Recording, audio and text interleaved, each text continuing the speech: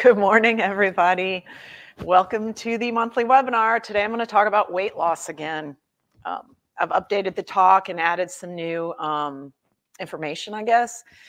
and we talked about this before, I can't remember when, but you could go back on the website and find that talk as well. One year ago today, the anniversary. A lot has changed in a year in the world of weight loss.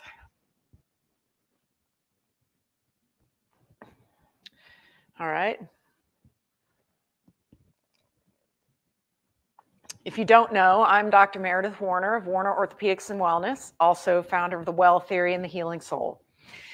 And I'm looking forward to give you some different information, maybe a different way of thinking about weight loss than you probably have, more of like how the scientists in the literature or the world of obesity think about weight loss. We do a lot of wellness work at my clinic, not just orthopedic care. Um, and we do help a lot of people lose weight. So this is kind of near and dear to my heart.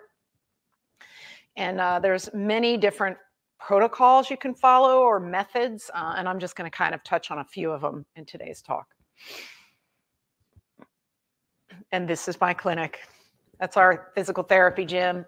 And we provide not just wellness solutions, but also orthopedic surgical solutions for different problems and also podiatric care, wound care, diabetic care, things like that.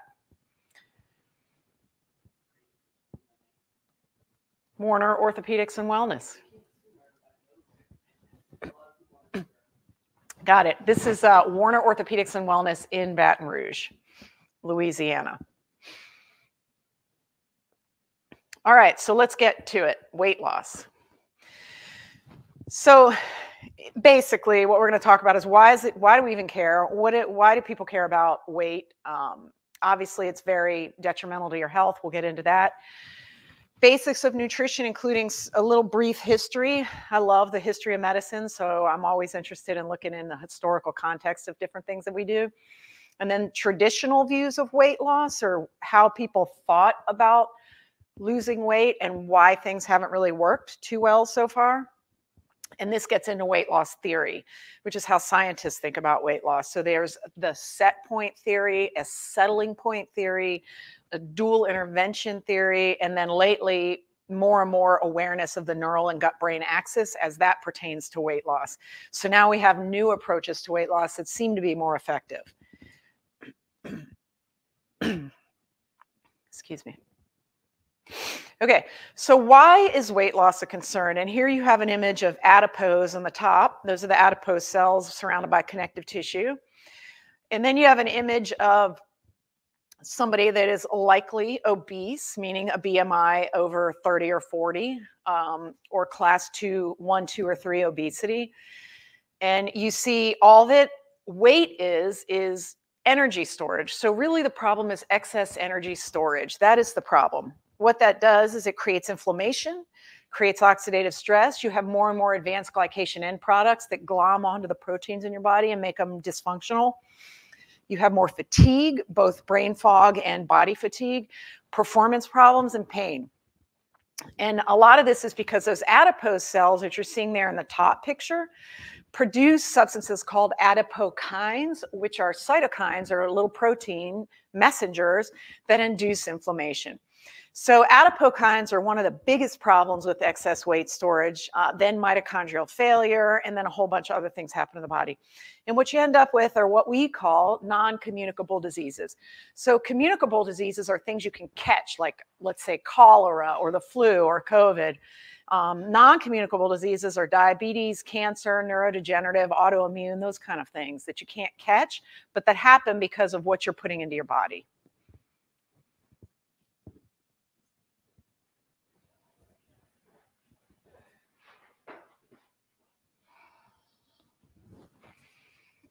Hold on, please. Okay. So since the 1960s and 70s, Americans have escalated in size, okay? We have literally gotten bigger. 60% of us are overweight or obese in this country, which is amazing if you think about it. 88 to 90% of us have metabolic dysfunction. That means only one in 10 have normal metabolism. Um, most of us, the vast majority of us, turns out, have some type of metabolic dysfunction, either problems with mitochondria or what have you. No diet and no plan has worked so far. We keep getting bigger, we keep getting sicker. Uh, there was an article in paper recently this week that I read about how the health span is diminishing while lifespan is increasing meaning most people will live to 77, 78 years old now, but they're only healthy till about 64, 65 years old. and our biggest export, my opinion, our biggest American export is obesity and sickness. So anywhere that our way of life has infiltrated or become the norm, diabetes and obesity have followed. Most pills have failed to this point. Surgery fails a lot. A lot of people regain after bariatric surgery. And as we know, and as you know, no, no diets work. 95% of diets fail and people gain weight back. So obviously, there's an issue here. I love these geographic data maps because they kind of just put a picture tells a thousand words. So the top left is 1990. The top right is the year 2000. The bottom left is 2010. Dark red is 30% or more of the population has a BMI of 30 or more. So that's like class one, class two obesity. I can't remember which BMI is the cutoff. But we use BMI number 30 to equal being obese. 40s morbid obesity, and then some people get up to 50 or 60. so 30% or more of the population in the dark red areas in 2010 have achieved a BMI of 30 or more or obese. And look at that versus 1990. So just a 20 year span, the country's become that obese, right? From 1990 to 2010.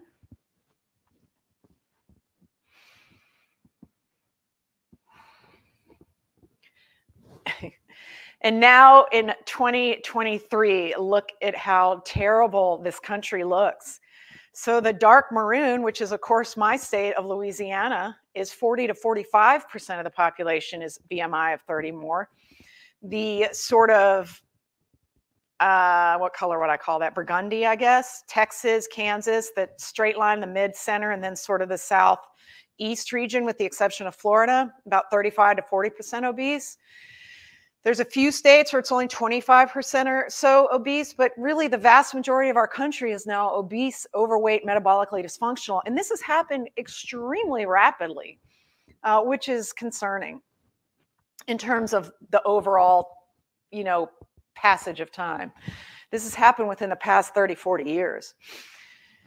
One of the biggest problems for you, and what I see every day with patients, is the financial implications of being overweight and obese. Nobody really thinks about it, but it is a massive wealth drain of the normal people in this country. Uh, the out of pocket cost for heart disease is about 4K annually. The out of pocket cost for diabetes is about 2K annually. Stroke will cost anywhere from twenty to twenty-three thousand dollars to treat. Diabetes, thirteen seven thirteen thousand seven hundred per year. Now, some of that's going to be shared with insurance, but long-term cancer survivors, top right, who have obesity versus long-term cancer survivors who don't have obesity, annual out-of-pocket expense of three thousand. So costs just mount up. So when you're obese and overweight and metabolically dysfunctional, you spend more on healthcare in addition, you take more sick days and you have more of what's called presenteeism, meaning you're at work, but you're not really productive, you're not really performing. So your um, the rewards for productivity are diminished, i.e., you don't make as much money. So the financial implications of being unhealthy are something that I think people need to really think about more often. Health is wealth. Um, and giving your money over to the healthcare system just because you're overweight or obese or eating bad food does not seem like a good idea to me. So, what is BMI? The body mass index, largely not used anymore, by the way, because there's problems with the BMI, which I'm not going to get into today. But basically, you take your weight in kilograms and divide that by the square of your height, and you get this number. Normal's like 20, 24 obese, as we said, is 30, overweight is 26, 27, 28, underweight is 18, 17. You get the point. So that's BMI. Better ways to assess your overall body fat percentage is using DEXA scan, the same type of study that is used to check for osteoporosis. or water displacement, like you literally get in water and they measure the displacement of the water and they can figure out based on di different parameters how much is lean body and how much is fat body mass. Basic information on macronutrients there's carbohydrates, there's fat, there's protein. That's what we mostly think about because of the traditional view of diet and calorie in, calorie out in terms of weight loss. And then there's the strategies for weight loss. So, caloric restriction, which turns out to be very effective bariatric surgery, which is when you actually either shrink the stomach or bypass the stomach surgically. Pharmacotherapy, that's the drugs you probably are all aware of, and we'll talk about those. Some people are starting to do genetic assessments, but that is very complicated and there's a ton of genes involved. Endocrine workups looking at things like hypothyroid, hyperthyroid, things like that. Do you have too much cortisol? Do you have enough testosterone to lose weight? Do you have too much estrogen, et cetera, et cetera? techniques like time restricted eating or intermittent fasting, and then certain specialized diets like ketogenic, Atkins, whatever. So, those are all the different strategies that are used by people in the Western world to try to lose weight. Because, I mean, let's face it, people in the developing world are not trying to lose weight.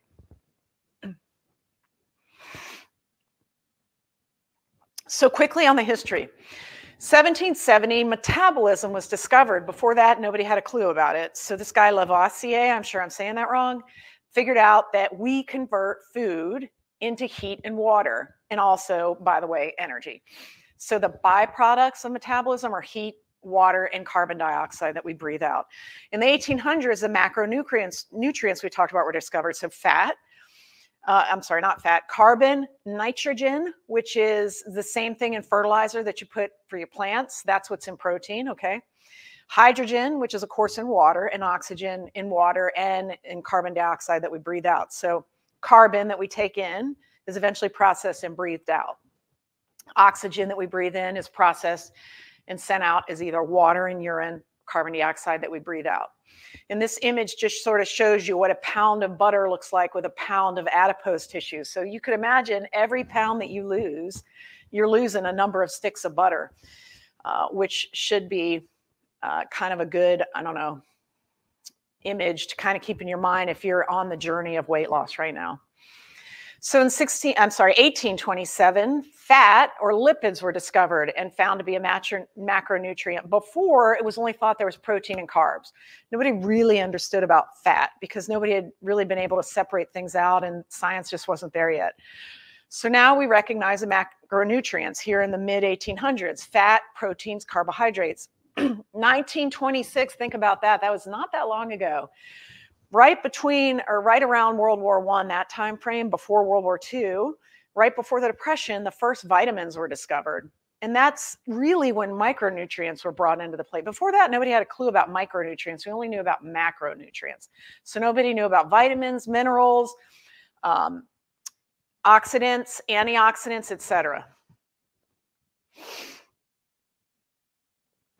So you may be wondering, uh, were people obese in the past, or what did they do about obesity in the past? Well, I've always wondered too. So I periodically look this up and I try to write blogs and put on content on this.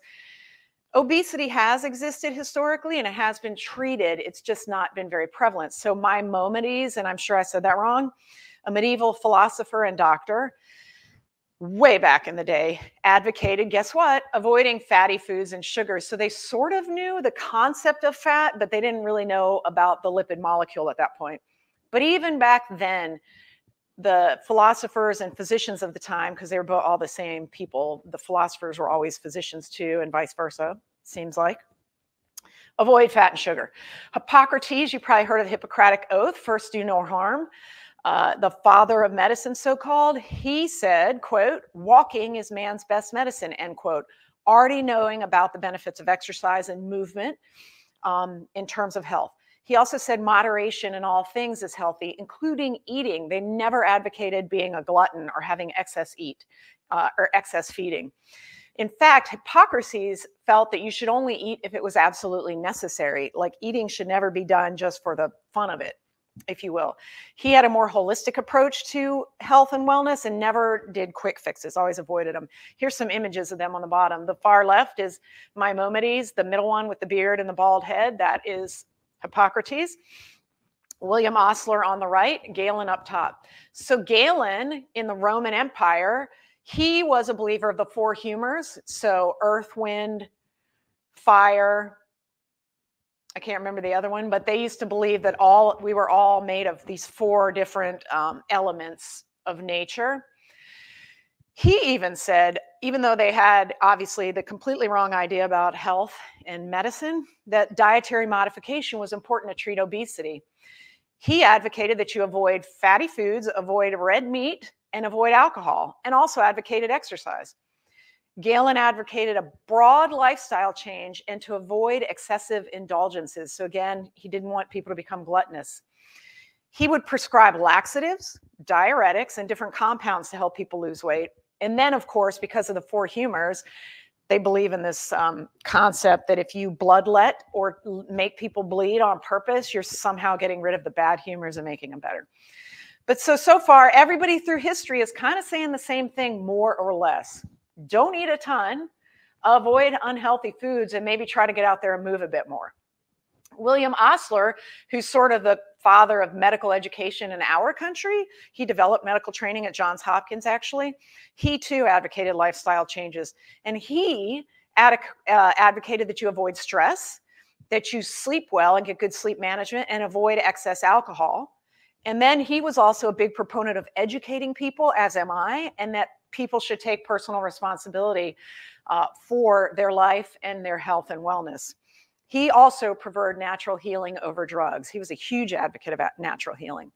So you kind of get a theme that people have been dealing with obesity and unhealth, uh, being unhealthy for a long time, and sort of the same principles have been applied to it just in slightly different ways. And we're still doing the same things today. We're just not very successful at it today. So we've talked about macronutrients. We've sort of talked about micronutrients. Let's quickly go over what a calorie is. Some of you may know, some of you may not.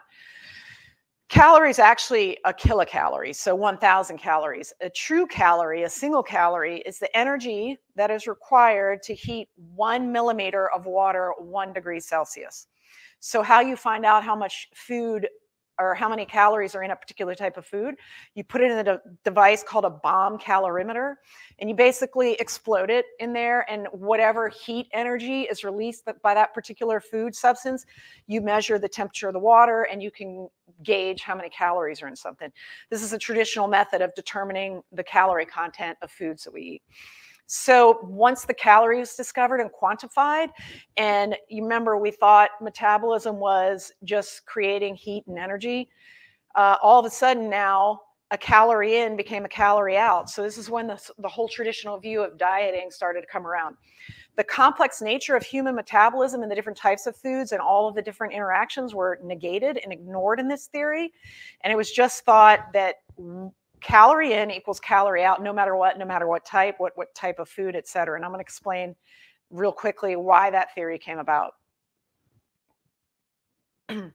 So it was based on what is known as the first law of thermodynamics. So this is the basis of all traditional dietary plans.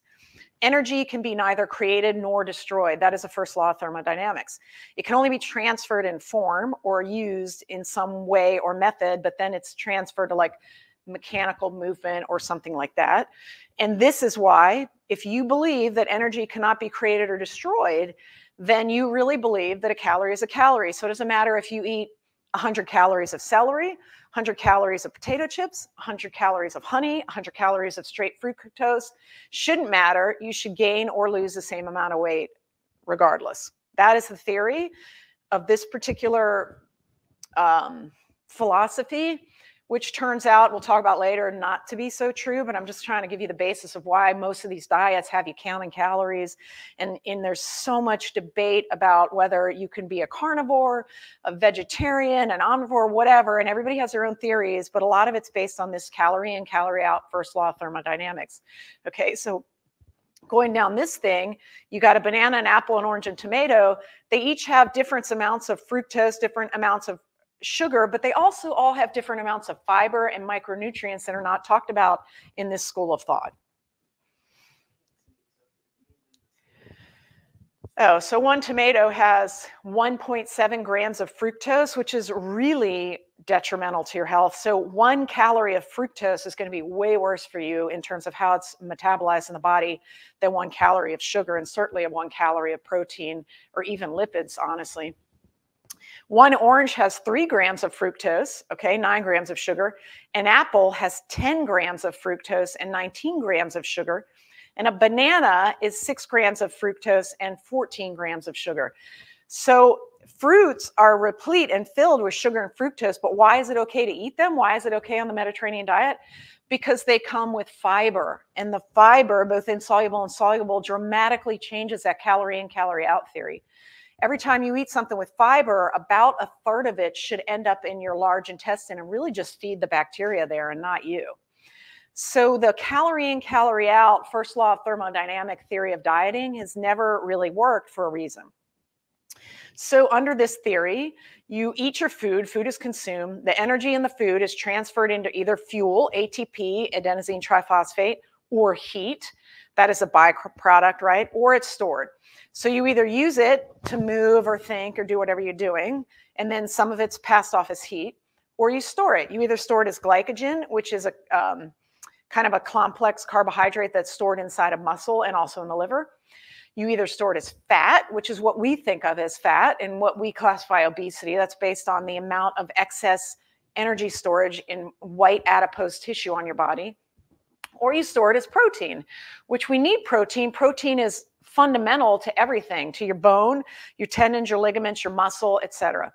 So those are the ways energy is stored after you eat it, or you use it, as I said, and then of course the byproducts heat the some of the medications over time that have really helped people dramatically lose weight do something called uncoupling where this top picture is a picture of the mitochondria the mitochondria generally very efficiently will take glucose break it into two molecules of pyruvate pass it through the electron transport chain eventually and you get a certain number of atp with a little bit of heat given off but if you uncouple the proteins in this system, you can get way more heat thrown off and less ATP for any given molecule of glucose, which sounds great, right? Speeding up your metabolism. The problem is the drugs that were successful at this ended up putting too much heat off, and people ended up cooking themselves from the inside out. So, this is not traditionally what we uh, encourage in terms of weight loss. But just so you know, there is heat dissipation and it can be increased. It's just detrimental because your body has to have a certain temperature or it stops working.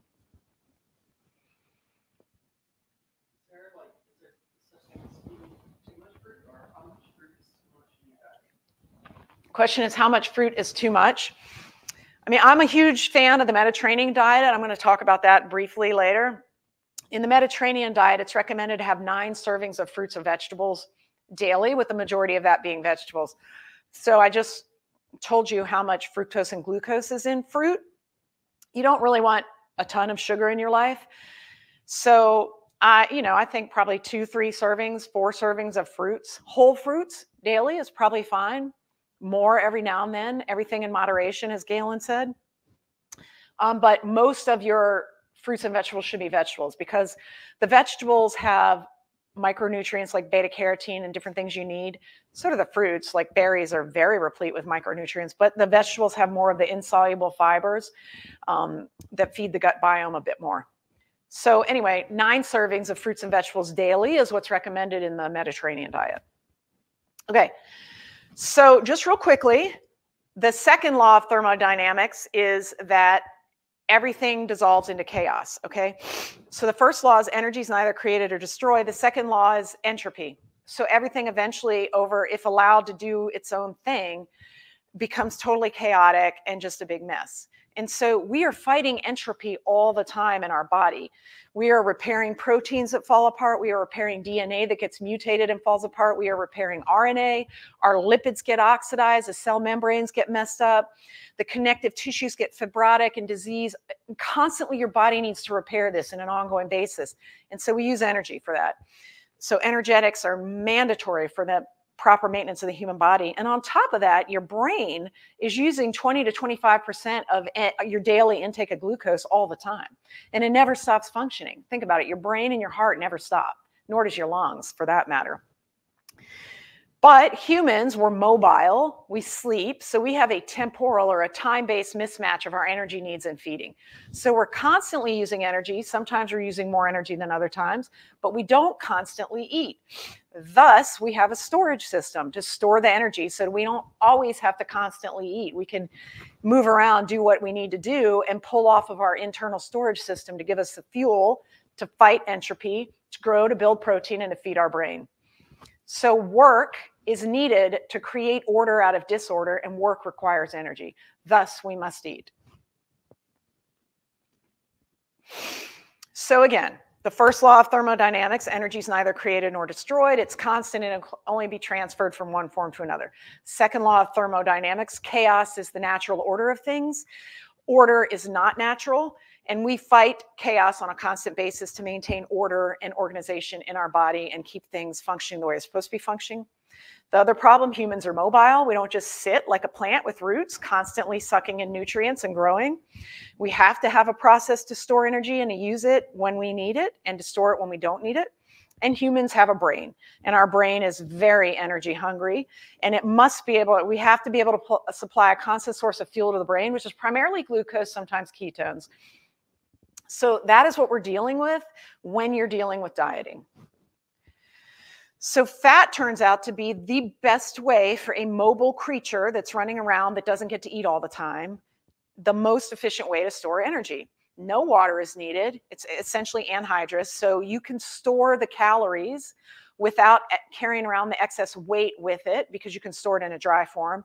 And it's essentially unlimited if you think about it. You can literally pack on, we think, and there are some theories about this, as much storage as necessary However, we found that there are actually limits for certain reasons. One theory being that evolutionarily speaking, if you were hunted by tigers and stuff and you got too big to run away from them, you would die, and natural selection would make sure that the next generation was unable to store that much.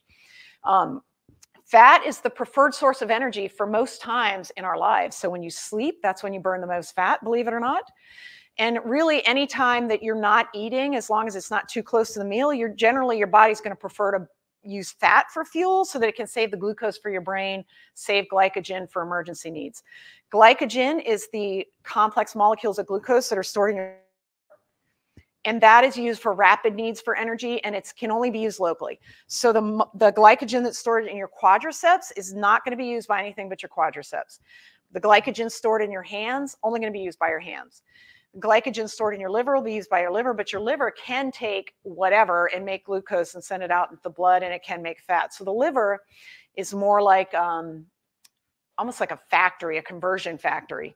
But just think of glycogen as a quick storage depot for local needs when you're doing like very vigorous activities. So, like if you do high intensity exercise, for instance, or if you sprint, you're using glycogen. But most times your body preferentially wants to use fat and that's a triglyceride, which is the bottom picture here.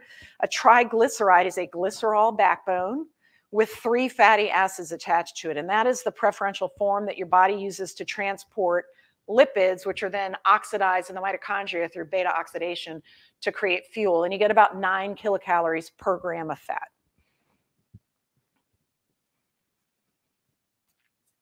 Okay, so, the first law of thermodynamics, upon which most of the world of dieting has been based for years and years and years, turns out to not be awesome. Doesn't really work that well.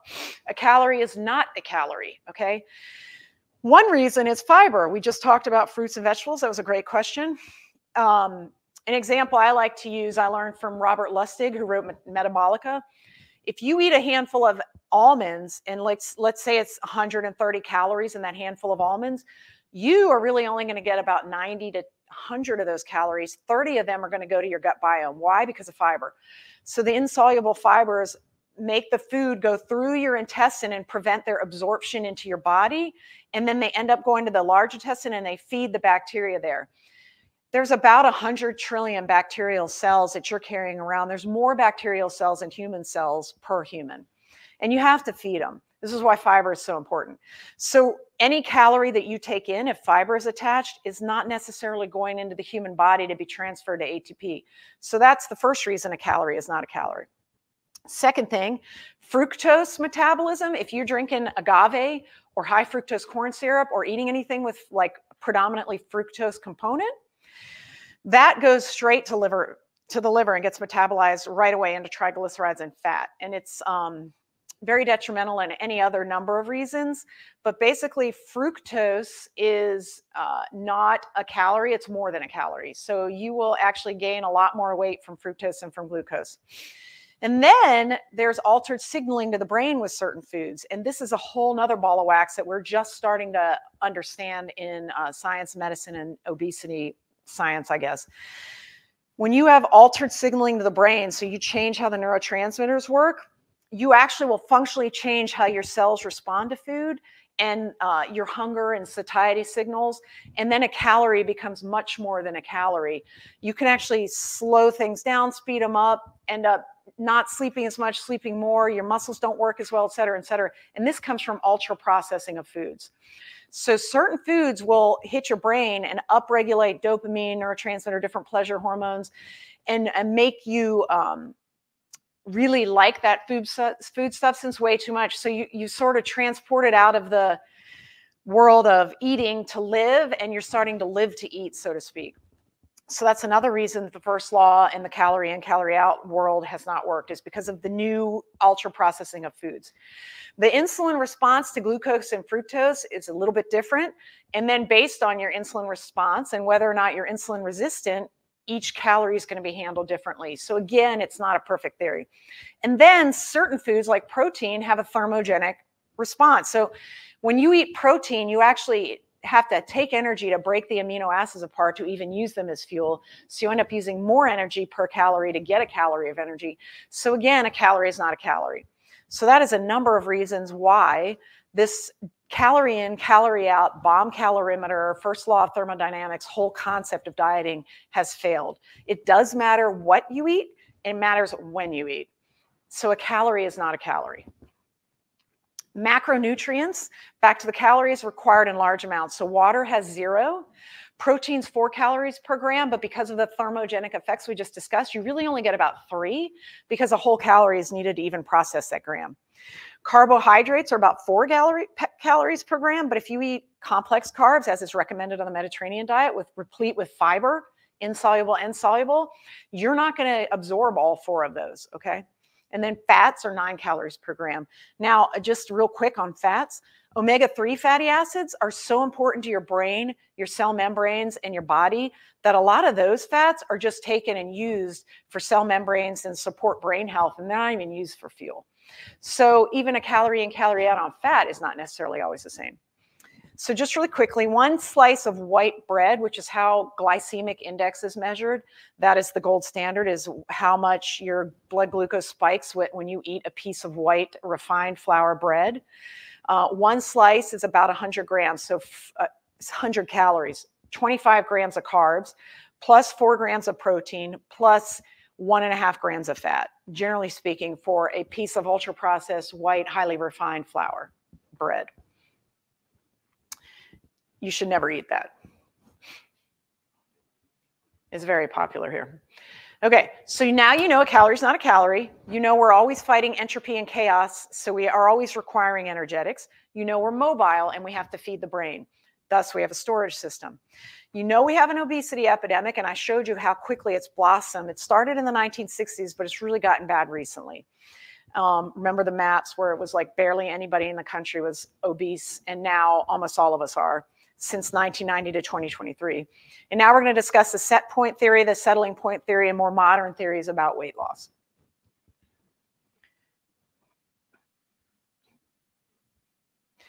Okay, so the calorie in, calorie out world also is the set point world, that there's a set weight that you are forced to be at no matter what, and it's not your fault, it's not your problem, you're just set at that weight. I'm going to tell you why this doesn't really work. So in the UK, there was a big population study, and they found that over a 10 year span, the average weight gain was 6.7 kilograms, which I think that's it's 2.4 kilograms per pound. So that's how much weight adults gain over about a decade as they get older. And they found that the daily difference in energy expenditure required for that is this just walking 150 meters per day or having a cup of coffee with milk. So just having a cup of coffee with milk more than you would have eaten otherwise, over 10 years, you're going to gain almost seven kilograms, 14, 15 pounds or so. So the conclusion of all of this was that there must be a very finely tuned system that controls intake and expenditure with severe precision.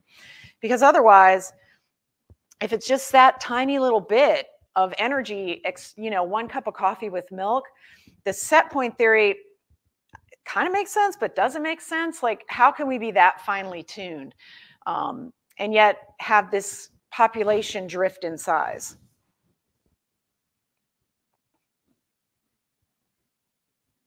Hold on. Okay. So this Dr. Hirsch in 2004, speaking at the Obesity Society, which used to be called the North American Association for the Study of Obesity, no wonder they changed it to Obesity Society, discussed how there's two prevailing groupthinks in obesity medicine at that time. Now, this is 20 years ago, right? There was a set point theory group, and then there was a group of people that only believed in the socio-environmental concepts of weight loss and weight gain. So the set point theory, there are physiologists, molecular biologists, geneticists. One weight is always defended. So humans have a set weight that you are stuck at no matter what. Doesn't matter what you do, what diet you go on, you're going to end up that big or that small anyway. That's the set point theory. The socio-environmental group is filled with sociologists, behavioralists, psychologists, nutritionists, and they're more of, oh, it's um, you know the food desert fault, or oh, it's the fault of the restaurants, or oh, it's the fault of um, transportation system, or blah blah blah. Whatever reason, basically their their theory is that it's not really what a person eats; it's more about what happens to the person. None of these models at this time even thought or knew about the neural circuitry involved in weight loss and weight gain. And nobody was talking about the pleasure reward system in terms of food. They were only talking about hunger and satiety. So the, the actual physiologic needs for energetics in your body to fight entropy and feed the brain, as we discussed. Nobody talked about how the brain gets hijacked. And now all of a sudden you don't eat to live, but you live to eat. So food becomes pleasurable, it becomes addictive. And then that makes all of these theories just go out with the. The baby goes out with the bathwater. So I think that's the difference with the success rates today with dieting and different drugs is now we recognize the neural circuitry that is heavily involved in weight loss and weight gain.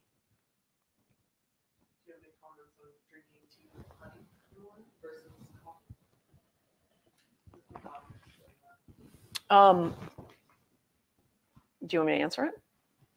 Somebody just asked, do I have any thoughts on tea with honey in the morning versus coffee? Um, yeah, so honey is mostly, well, maybe it's 50 50 sucrose and fructose. So if you're giving yourself a little sugar load in the morning, then you're going to have insulin drop out in the morning and spike. And then you're going to, that's going to trigger weight gain. Insulin is the hormone necessary to gain weight. So, for instance, I used to put agave in my coffee in the morning. It took me a while to get over that because, of course, fructose is highly addictive to your brain, right? Once I realized that I was basically just messing up my whole system by giving myself a fructose load in the morning with my coffee, I stopped it. Um, so, I would say honey, although it's maybe better than sugar, certainly better than high fructose corn syrup because it's natural. There's some micronutrients in it, minerals and such. Um, but if you can avoid that high sugar load early in the morning, you would be doing yourself a favor in terms of long term health.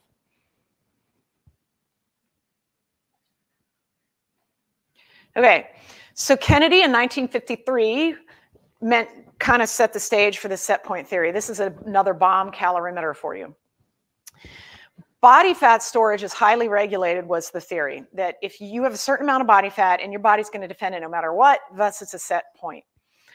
So they thought that fat might produce a signal that is picked up by the brain that says, hey, brain, I have the right amount of fat, or hey, brain, I have too much fat, or hey, brain, I have too little fat. They actually discovered a molecule that they thought was that molecule in 1994 called leptin. Um, but now we recognize that there's far more proteins and hormones and neural circuits involved. Um, and all of the work that was done on leptin to help people lose weight, none of it panned out except for certain genetic diseases. The lipostatic, meaning lipofat static same, so staying at the same level of fat model, uh, they thought there must be a negative feedback loop somewhere between the fat and the brain. And they all felt that there's a strong set point that must be defended by humans. So here's a problem with the set point theory, or some of the problems. Um, and I put these images to just show you people that gained or lost weight based on a job over a short period of time and then went back to their normal weight. Um, so you can force yourself to gain weight, you can force yourself to lose weight. There is really no set point. So excess intake, you get weight gain. Reduced activity, you get weight gain. Reduced intake, you get weight loss. Excess activity, you get weight loss. But when the original situation returns, everything gets reversed. And I think that's where people get messed up with the set point. If you, let's say, are super obese and you put yourself on a diet and you lose weight, if you go back to eating what you used to eat before, of course, you're going to go back to the original status, right? Um, the theory is that that set point is being forced upon you, but it's really that your brain is allowing you to go back to the original amount of intake and energy use rather than the set point is making that happen. It's hard to explain. I'm going to get into a little bit more later. So when the original situation returns, your weight reverses to the prior level. Your energy expenditure goes up or down based on how much you're intaking or eating. So again, the body weight is defended set point theory. Weight gain always follows acute weight loss because of this, and the failure of dieting is because of this. So here's an ad from a bariatric um, surgical center in Mexico showing that if you starve yourself, your hunger increases and metabolism drops. And if you overfeed, your metabolism increases and your hunger drops. Not really true because the obese are still very, very hungry. Again, because their brain has been hijacked by ultra processed foods. And usually, starving people end up not being hungry because your body starts to produce ketones and you're not hungry anymore. So, none of that is true. Next. So the problems with the set point. The obesity epidemic itself is a problem. Humans have been around for, I don't know, a few hundred thousand years, right? And only in the past, what do we say, 40, 50 years have we become obese. Mm-hmm. So how could the set point of a human being change that quickly for so many people? So that makes no sense. The obesity epidemic's only been around for 40 years or so. We're getting more and more obese. The world is getting more and more, more obese very quickly. So why would a set point for a human being change that much globally in that fast of a time. That just makes no sense at all. Why do only people in the Western world gain weight there? And why do they gain it their entire lives? You're telling me the set point changes every year to a new higher set point with a higher weight? Again, another discount on that theory. Why are the poor more likely to gain weight in the West than the rich are? Why are the rich more likely to gain weight in the West, eh, in the developing world than the poor are? Why do children who watch TV more gain more weight than children who don't? This makes no sense with the set point theory. And then finally, people gain weight in college. They gain weight when they get married. And if you're Asian and you move from the developing developing world to the Western world, you gain weight and become obese. So again, all of this just blows many, many holes in this defense of a set point theory. So essentially, we have found that this so-called set point can drift and there really is no defense of a certain amount of fat. So a new theory had to be created. Um, and just really quickly, energy and exercise, because I know everybody out there is probably wondering about exercise.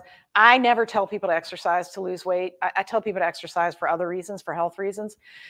But the Hadza, the hunter gatherers, here's a picture of one in the bottom right, they walk more in a day than we do in a week searching for their food but they burn the same amount of calories daily that we do. So an office worker in Illinois or somebody in Russia or Japan or Europe is going to burn the same number of calories per day as a hunter gatherer in Africa who's out there still looking for, you know, their food on a daily basis. They use about 2400 kilocalories a day, so does the office worker in Chicago. The only people that really do have a change in the amount of energy they consume per day are elderly people. They use about 25% fewer calories, and we think that's because of what's called sarcopenia. So the elderly, because they stop moving and they stop working out, lose muscle, and that is really the trigger of your basal metabolic rate.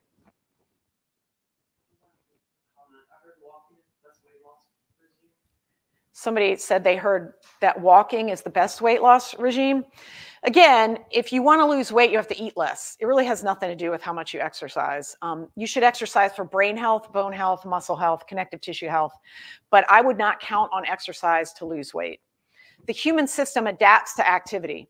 So less energy will go to your stress response systems, your inflammation system, your immune system, et cetera, as you use more energy for activity. Exercise is essential for brain health, and we've talked about that in other talks before, but not for weight loss. Only in the first week, when a sedentary, meaning somebody that sits all day, woman starts to train for a marathon, does her metabolism change at all? And then it goes right back to where it was because her body adapts to that level of activity. So you end up burning the same number of calories daily post training or during training as you did pre training. Um, just that first week, that transition zone is the only time we've seen difference.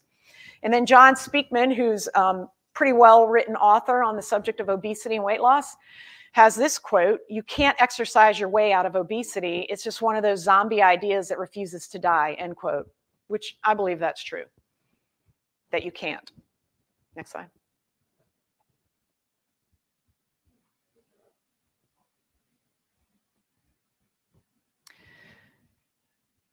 You skipped a slide. There you go. So remember I told you the elderly do burn less calories, but it's probably because they lose muscle. Well, the major determinant of your daily energy needs, if you're not doing stuff or thinking hard or whatever, is your fat-free mass, meaning your really your lean body mass or how much muscle you have. So if you can increase your muscle, then yes, your basal metabolic rate will go up and you should burn more calories on a daily basis. So this is this speaks to resistance training, not aerobic training, by the way. The energy from fat and carbs has increased in terms of human intake since 1961, but surprisingly, protein intake is about the same. Nobody's really eating more protein than they ever did before. Why? Because ultra processed foods are primarily carbohydrate and fat, not proteins. Um, and if there's protein in there, they probably added it back or it's some kind of deconstructed and remixed up protein.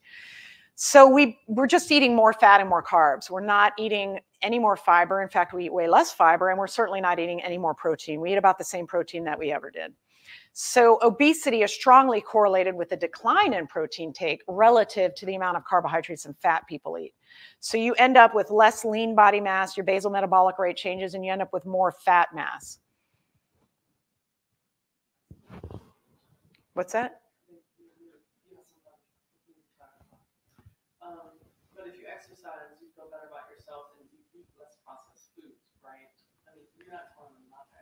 No, I never said not to exercise.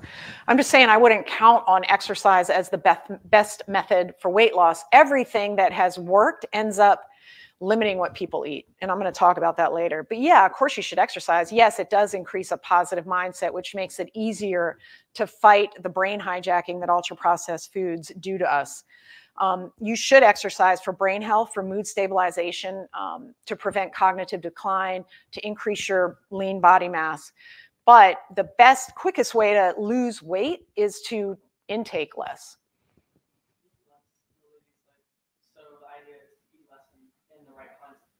Yes, eat less and the right kinds of food is exactly right. And actually, you'll find if you are really a adherent or you stick to a true Mediterranean diet and you really eat whole real foods and your carbs are all complex with carbs, you can eat as much as you want and it's you you almost can't get fat. It's only when you introduce these modern ultra ultra processed foods that obesity starts to happen. So again, some more um, shots fired at the set point theory. People that get super sick or septic drop weight very quickly, so blows the set point theory out. Tumors, people with cancers drop weight a ton because the cancer's taken all of their food. GI problems, neuropsychiatric disorders, so anorexics, depressions, dementia, all of these change this so-called set point very quickly and effectively. Um, and the set point theory relies on fat mass, right? But you are only 5 to 40% of you is fat, depending on your obesity level, right? That means about 50% of you is not fat so why is the bone and the muscle not set at a certain set point? Why do we lose muscle as we get older and gain fat? Why do people think only fat is at a set point? None of it makes sense.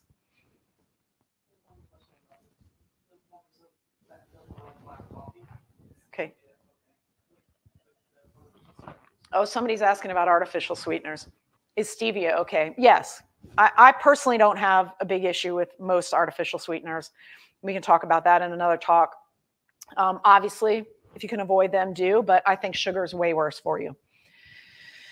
Okay, so again, another issue with the set point theory is your food intake varies dramatically over a day, and all of the hormonal and neural response systems are changing constantly based on what you're taking in and, and doing. And so having one static set point that's changed at a microscopic level on a daily basis per meal also doesn't make much sense. How can you have a chronically affected level that is changed so dramatically on a short-term basis? So now we're going to talk about what's called the settling point but really quickly, everybody thinks uh, genetics. So there's more and more in the news, and I see some people talking, and I see some podcasts or doctors talking and saying your genes determine how fat you are. Maybe, maybe not. Turns out most genetic um, things that we think are genetic, it's really that people grow up in the same house and eat the same things and have the same lifestyle. So it's more of a hereditary environmental thing as opposed to genes. There's no indication that the heritability or the genetic propensity to gain or lose weight has changed since time began. There is a genetic component, we think, somehow, because we don't all get fat despite being faced with the same onslaught of modern ultra processed foods and whatnot. Um, but there's too many genes linked to obesity for us to say how. And when they go down to measuring how much weight is gained or lost based on a particular gene or allele, they find the, that any effect size of over, to find an effect size of a single gene that is responsible for more than half of a kilogram of weight gain is very rare. Okay, most of the alleles or the polygene effects are less than 150 grams per allele. So maybe there's a genetic thing, but it, it accounts for far less than you think it does based on the current work. Now, this may change with all of the gene wide association studies and AI being thrown at this problem right now. But as of today, genetics aren't really the big problem. And then remember, wild animals, if they're caught and brought into the lab and given unlimited food, they don't really gain weight. They just eat what they need and they don't just sit there and keep eating over and over. They don't get obese. And most people in the Western world do have unlimited food at our at our fingertips, but only 30 to 40% of us are obese. So something else we think is going on. The settling point, I told you that quote from Speakman, who said that exercise is a zombie idea that refuses to die.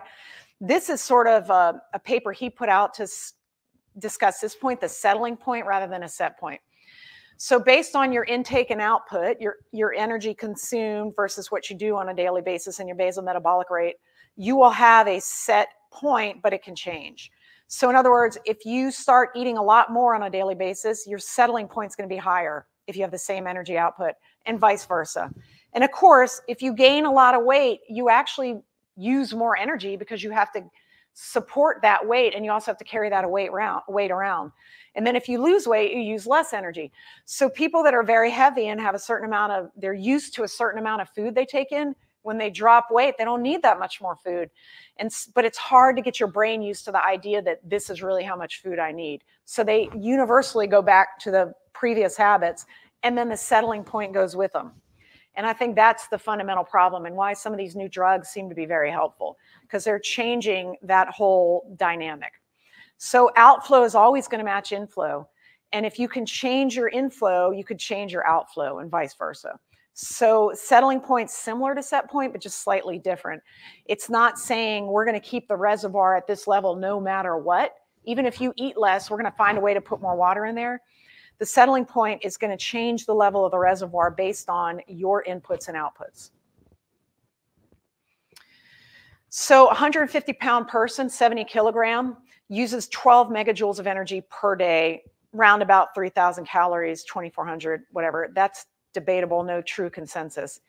If you take this person who normally uses 12 megajoules of energy a day and put them on a 10 megajoule diet, they're going to lose weight, but they're going to lose lean and fat mass and their energy expenditure is going to end up matching that 10 megajoules of intake. So you will stop losing weight and plateau at a certain point. Now, that's your new stable point, 10 megajoules. Well, if you go off of this diet or whatever this thing was that dropped you two megajoules a day and go back to eating 12 megajoules, well, of course you're going to go back to that point. It's not really a set point. It's that you go back to eating 12 megajoules so you settle back up there. That to me makes more sense. But again, this is still not a perfect theory. There's still some problems.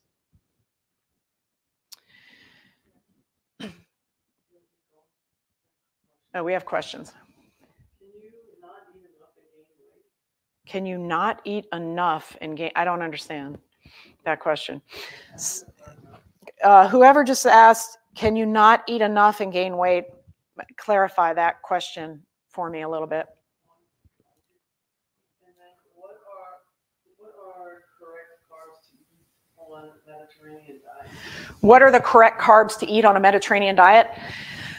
Um, basically, fruits and vegetables, those are complex carbs replete with fiber. That's correct. Um, whole grain cereals like barley, millet, spelt, those kind of things. Really, anything that hasn't run through a factory is okay. Like anything that's out there in nature, you would find in nature, is always going to be okay. And then the super old school way of making bread, where you don't eliminate the fibrous hull of the um, wheat germ and just use the starchy insides, which is what refined flour is made out of. If you can keep fiber with your carbs, then that's generally okay with the Mediterranean diet. All right. we can go past this. We already talked about that. Okay, so neither of these two groupthink models that we talked about that were de- detailed in 2004 by Dr. Hirsch really works. The set point, this physiological determinism, like, oh, you are going to be at that weight no matter what. You are just predestined to never change. Give it up. You have no hope. And this genetic determinism, oh, you have the genes to be fat. You're just out of luck. That doesn't really work, that, that theory.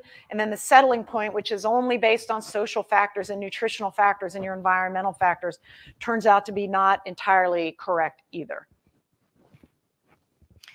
So then we have the general model of intake regulation, okay? And this is a little bit closer to the truth because it's starting to think about the brain and how the brain is involved. Food intake regulation is not just based on whether you're really hungry or really not hungry. Rather, there's psychological inputs, physiological, environmental, social cues, and then the, the components of the actual food you're eating. So, like if you're hungry and you eat a bag of Cheetos, that's going to do far different things to your body than if you're hungry and you eat a salad or a couple of apples um, because of the different neural effects of these certain highly rewarding foods that trigger certain amounts of dopamine and serotonin and whatnot to be dropped out in your brain. So the defended quote unquote level is going to change when any of those factors psychological, physiological, environmental, social, or nutritious anything changes there, all of a sudden you're going to have a new set point, right? Again, the set point doesn't really work. So there's uncompensated and compensated environmental factors that play into this. Um, but really, this is the first time people started to think about the psychological effects of food or like the reward and addictive nature of foods. So just throwing this out there, think of this. There are certain things that have a very tight set point in your body that have never changed since humans have been on the planet and never will change because our body falls apart if we're out of a very narrow band. One of these is your acid base balance, very tightly held. If you get too acidic, you kick it. If you get too basic, you're going to die. The electrolyte levels, very tightly held. If you have too much potassium, you can get an arrhythmia. If you have too low of calcium, you have a lot of pain, nothing works, you have no intracellular communication. If you have low salt, you get like your brain explodes because it just can't work right. Temperature, very tightly regulated. We work at a certain temperature and that's it. If you get too hot, the proteins fall apart, DNA falls apart, and you fall apart. If you get too cold, your nerves can't transmit action pulses, um, action potentials, and nothing works. And your blood glucose levels are held at a very tight range because your brain needs it constantly. These things are at a set point. Obesity, I don't think, is in this category.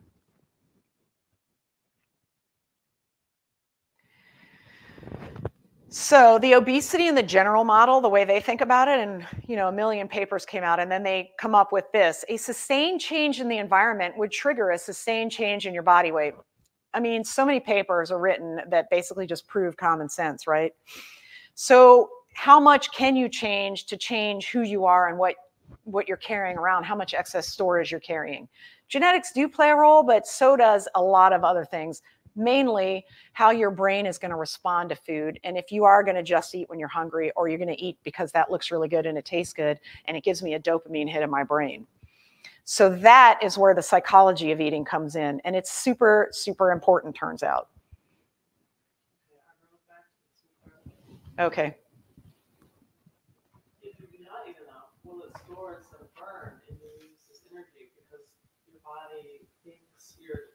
of food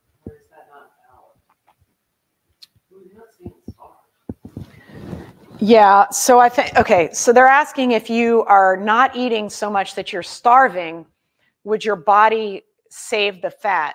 No. If your body's going to burn fat to supply the metabolic needs of your system. So Ancel Keys, who brought the Mediterranean diet sort of to the forefront of society and made us all think about it, he had a study he did before that study where he studied starving people. And you end up burning fat when you starve if you don't eat enough. Um, and every diet that has worked to date is working because you eat less. So if you eat less megajoules of energy than you need to function, your body will go to fat and burn it. Um, so no, I don't think that's necessarily the case. Now, depends on what you're eating and when you're eating, of course. Next slide. How many times per week should we incorporate lifting weights? How many times per week should we incorporate lifting weights? I tell my patients two to three times a week. Um, what you want to do is gain muscle and gain strength. You want to be strong as you age because it'll just make your whole world better. Um, strength is usually lifting heavy things, short reps with rest in between. So strength protocol is three to five sets, three to five exercises, three to five reps with three to five minutes between whole body movements, lifting generally 70 to 80% of your one rep max. If you do that two to three times a week, you'll maintain your muscle mass and then potentially even gain some if you progressively overload. So if you don't do anything, start one day a week, maybe go to two days a week, um, but between different muscle groups, you want to have two to three days of rest so that your body can synthesize the proteins needed. Okay, so now all of a sudden we realize the brain matters a ton with how obese or not obese you are. The hypothalamus, the striatum, regulate your wanting or needing signals. So most people in the modern world don't eat just because they need to. They eat because they want to. And the wanting has been hijacked by the food industry, in my opinion. So food has been made to be hyper palatable, super duper tasty, and give you massive dopamine hits in your brain. Donuts, as an example. So you always want them, but you never really need them, if that makes sense. Um, the nucleus accumbens in your brain, highly linked to reward and liking and to the anticipatory nature. So you get excited about going out to that restaurant. You get excited for that steak. You get excited for that birthday cake.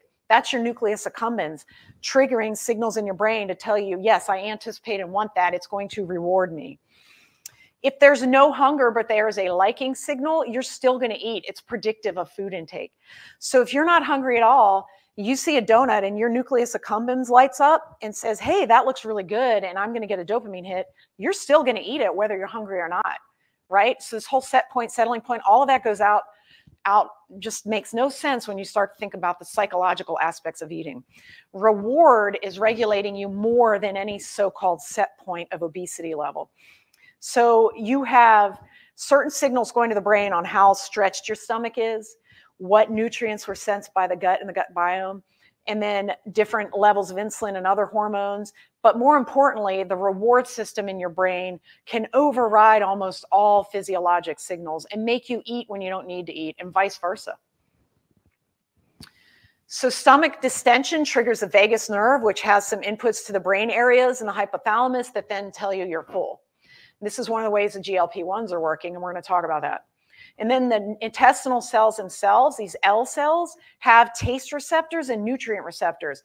So your gut cells will say, oh, yes, we just took in fat, or oh, yes, we just took in protein, or oh, we took in carbohydrates. And it'll tell your brain and let your brain know what to do and when to stop eating. The hormones are released sequentially as the food goes down through the digestive tract from the stomach to when you poop it out. And then you have short chain fatty acid receptors, which is a byproduct of fiber metabolism. The target of all of this is a brainstem and the hypothalamus, okay? And then the nucleus of solitary tract and the dorsal medulla. And the hypothalamus is like your primitive brain, your lizard brain, more or less.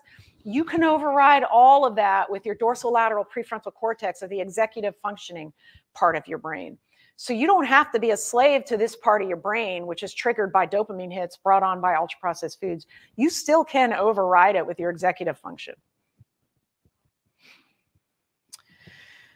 So almost all of the dietary recommendations you were given before are based on the physiologic energy homeostasis, first law of thermodynamics, calorie in, calorie out. You're only going to eat when you're hungry, and you're always going to know when you're hungry. Now we know about reward homeostasis. So you are going to eat until you're happy in your brain. And if you're depressed, you're going to eat until you're happy in your brain, et cetera, et cetera. We're only just beginning to understand this. I'm just giving you a very top line overview of this.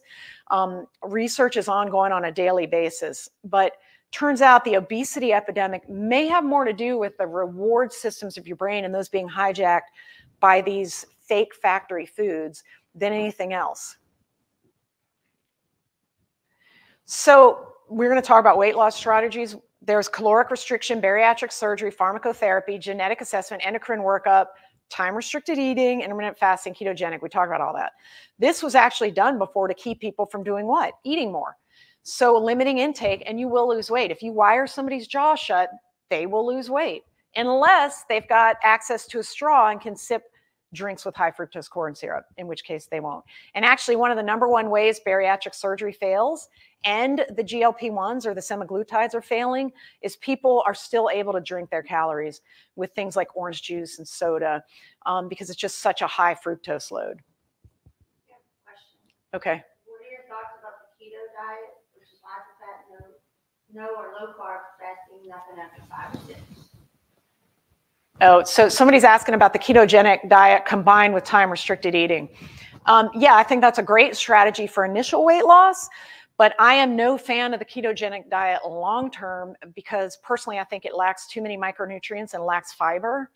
Um, and that much like saturated fat and protein load over time, I don't think is good. That's why I like the Mediterranean diet. However, for my patients that are class two or class three obese and they need to lose weight and they want to lose it relatively quickly, I think that's a good strategy to combine ketogenic with time restricted eating. And a lot of the ketogenic products that are out in the grocery store now do have the carbohydrates mixed with enough fiber to make it pretty much okay.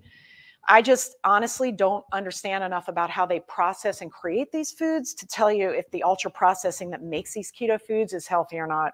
I don't think anybody knows yet.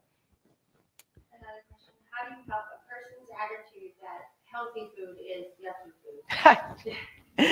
How do this is something we struggle with all the time, and I struggle with kids, of course. How do you help someone whose attitude is that healthy food is yucky food?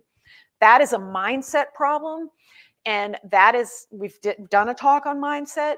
You have to get the mindset changed. Um, you have to gain what's called a health mindset, and that can be trained. It, it, takes a lot of time. And if you go back, there is a talk, I don't remember the name of it, was a mindset talk. It may have been titled Mindset. I talked about that before.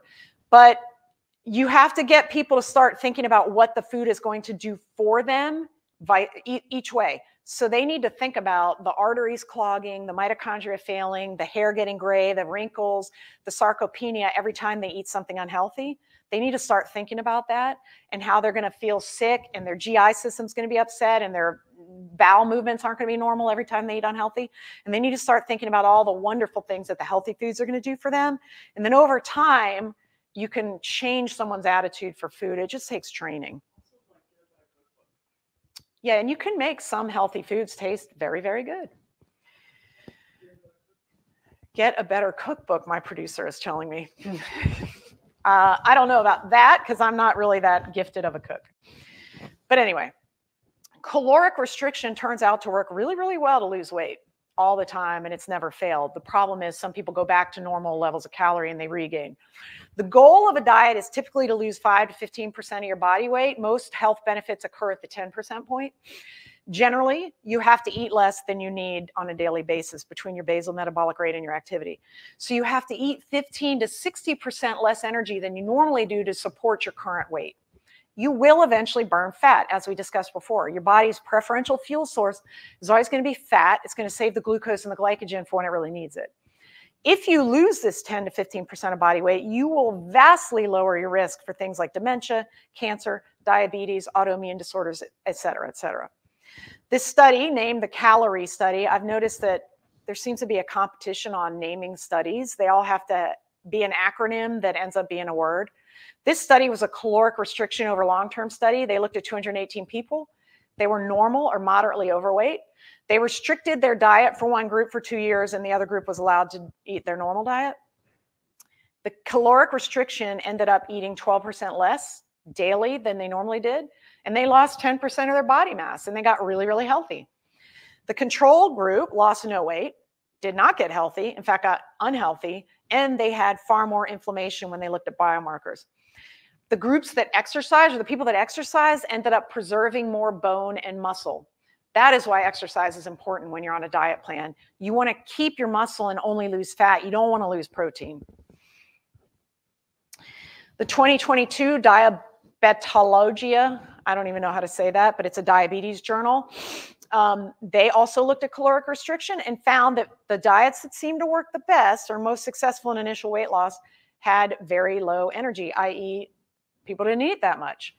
Um, formula meal replacement seemed to be pretty effective because when you give someone food and don't let them make it themselves, that means you have more control and you can actually make sure they're eating less than they need, so they have to lose weight. Sadly, most of the evidence in the diet world and the nutrition world is a year or less. Um, in terms of dietary interventions, I just told you a study that was two years, but generally, these are not 10 and 15 year studies, okay? So we don't really know. Um, but any study that's ever been done has never supported one macronutrient pro profile over another. Speaking to that ketogenic question earlier, there's no strong support for a low carb, low fat, high protein, high um, monounsaturated fat, vegetarian, low GI diets above a control diet. I personally like the Mediterranean diet because it gives you so many other health benefits besides being a low energy diet. It's actually a high fat diet, but it's good fats like omega 3s and olive oil. Um, but it's also a high fiber diet and it has an appropriate amount of protein, I think. Um, and really, the Mediterranean diet's more of a lifestyle, and it involves a lot of socializing and um, involving like activity and movement. So it's less of a diet than really a pattern or a way of life. Um, but as we know, 95% of diets have failed until recently. Question. What's the best caloric amount that you recommend for women? Somebody asked what's the best caloric amount I recommend for women. There's no way to answer that. I mean, some women are five foot one, some women are six foot tall. Some women um, have a lot of muscle mass, some women don't have any muscle mass. And then again, caloric intake, you're still thinking about calorie in, calorie out, which is really not relative. So if I ate 4,000 calories, but it was all super healthy whole foods on the Mediterranean diet, no ultra processed foods, I would probably gain less weight than somebody ate, that ate 2,000 calories of bunny bread and potato chips and ice cream. Does that make sense? Because that's going to be processed in a completely different way than what I'm eating. So I don't really buy into the calorie in, calorie out, and calorie counting. I'm more about when you eat during the day and what you eat during the day. And we're going to talk about that briefly. The Mediterranean diet, this is a 2022 review as well. Again, relatively high in fat diet. Adherence to this ultimately does lower your weight or your BMI. And more importantly, there's less truncal obesity. So the visceral fat goes away, which is the bad fat. And that's because you're not creating this liver depot of instant fat production from fructose that goes straight around all of the organs.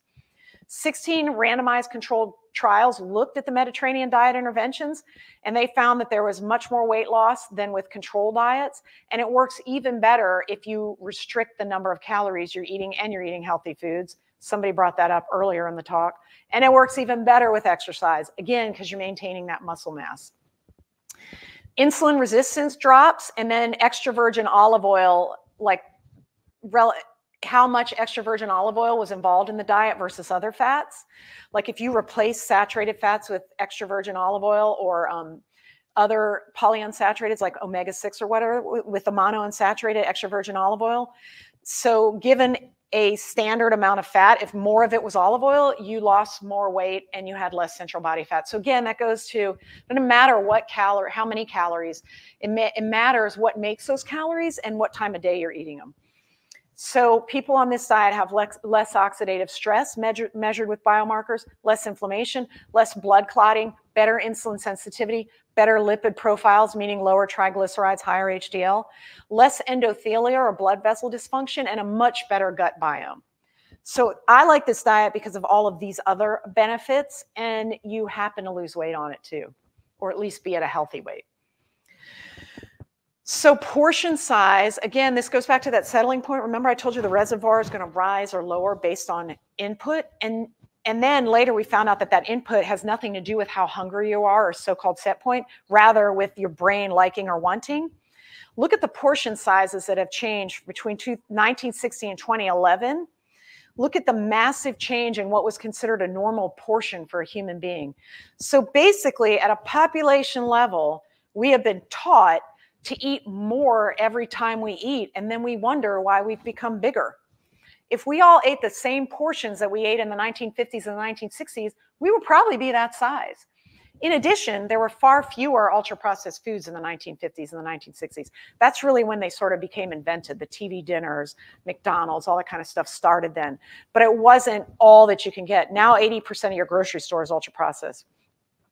Look at these uh, images of a pizza slice now versus previously 350 calories more per pizza slice. That's how much bigger it is. Movie popcorn, 360 more per serving, which who knows what that is. So my whole point here is just because you go eat a meal at a restaurant or you're, you know, being served a school lunch or whatever, that portion may be fabricated by the food industry telling you you need this much food when really you don't. And you're supporting not you personally, but we society are supporting bigger people with these bigger portions. So again, it comes back to eat the amount of energy you need to keep your body at a normal healthy weight and functioning. These larger portions are going to support a larger human, thus humans are larger. So bariatric surgery turns out to be extremely successful, still the gold standard, although I think that the uh, GLP-1s and the GIPs are fast coming in and about to replace bariatric surgery as the gold standard. Very successful. The rates are growing massively. Biggest problem being insurance coverage, of course. There's many different types of bariatric surgery, but really at the end of the day, all you're doing is limiting what a person eats with a mechanical limitation. So by changing the size of the stomach or bypassing the stomach, you're effectively limiting what somebody eats or absorbs mechanically. So it is mechanical portion control is what I think of when I think of bariatric surgery. However, they've also found that after bariatric surgery, people's levels of GLP-1, which is semaglutide or Ozempic, is a synthetic form. The natural levels of GLP-1 seem to be higher in people after bariatric surgery. And I'm going to tell you later how the GLP-1s work, but basically it changes the craving profile and the reward need in the brain and also makes people feel like distended or fuller. So there's multiple signals going on that limit what people need to eat based on this GLP-1 signal and they have the mechanical portion control. So bariatric surgery has been very, very successful. However, it is a surgery, and who wants surgery if they don't have to have it? Mediterranean diet recipe ideas? Oh my goodness. What's a good cookbook for Mediterranean diet recipe ideas? What is the cookbook that something dish? Hold on. I'm going to get that for you. Again, I am not the greatest cook, but I, there is one defined dish, I think, that I use a fair amount. There's a Blue Zone cookbook out there. Um, and really, I mean, just think of this. You just you don't necessarily need Mediterranean. Just only eat foods that you find in nature. the Mediterranean dish. The Mediterranean dish. Um, the, in Louisiana, a lot of our foods, which are delicious but not so healthy, but fundamentally are based on. It appears to me based on um, cookbooks I've seen and recipes I've seen from North Africa, a lot of our diet is based on North African cuisine, it appears. Lots of beans, lots of um, rices and vegetables and things like that. Unfortunately, here we add sauces and ultra processed things and sugars and whatever, and we've destroyed that healthy diet. But remember, North A Africa kind of borders Mediterranean region lots of vegetables, legumes, which are high protein, high fiber, plant-based sources of meat, and then limited numbers of meat, right? You don't need a lot of meat on these kind of diets. So you don't necessarily, Mediterranean is a term, but really just think of it as an omnivore diet that is real food, that's not fake factory food. That's how I think of it. Um, so your quote unquote new set point is r- drop 20 to 30% after bariatric surgery. But remember, it's more of the settling point. Suddenly, you're not able to eat as much to keep the reservoir at the same level because you're mechanically blocked from that much intake. So naturally, the reservoir is going to drop and you're going to lose weight. People lose about 20 to 30% after bariatric surgery, which is pretty awesome. But a lot of people do fail and they return back to their normal weight. Again, primarily through high density, high fructose liquid uh, kind of products generally. So you get an altered signal from the gut, you reduce your total energy intake, and then uh, you lose weight. So very successful, changes your eating behavior. The defined dish, Alex Snodgrass. No, that's the forward. Who's the author? Co-creator of the whole thirty. Oh, it is Alex Snodgrass. Defined dish I use. He was a co-creator of the Whole 30 diet, uh, which is one of those elimination diets. Um, but that's a good cookbook. Okay, so nowadays we've actually had some success with pharmaceuticals, believe it or not. Now, I am no fan of synthetic pharmaceutical drugs. I'm a big fan of natural healing and natural medicine, but there are some newer meds out that are really helping people and really helping people get healthy. Now, there's only a few FDA approved drugs for weight loss Orlistat, phentermine, topiramate, naltrexone bupropion, liraglutide, semaglutide, and now tirzepatide, uh, Zepbound. So you've got Xenical, Qsymia, Contrave, Saxenda, Wegovy, and Zepbound. Wegovy and Zepbound being the most successful, with Zepbound being the most successful. That is the new uh, moniker being applied to Mounjaro for the weight loss indication. So these are your gut derived or your incretin hormone based drugs. Next.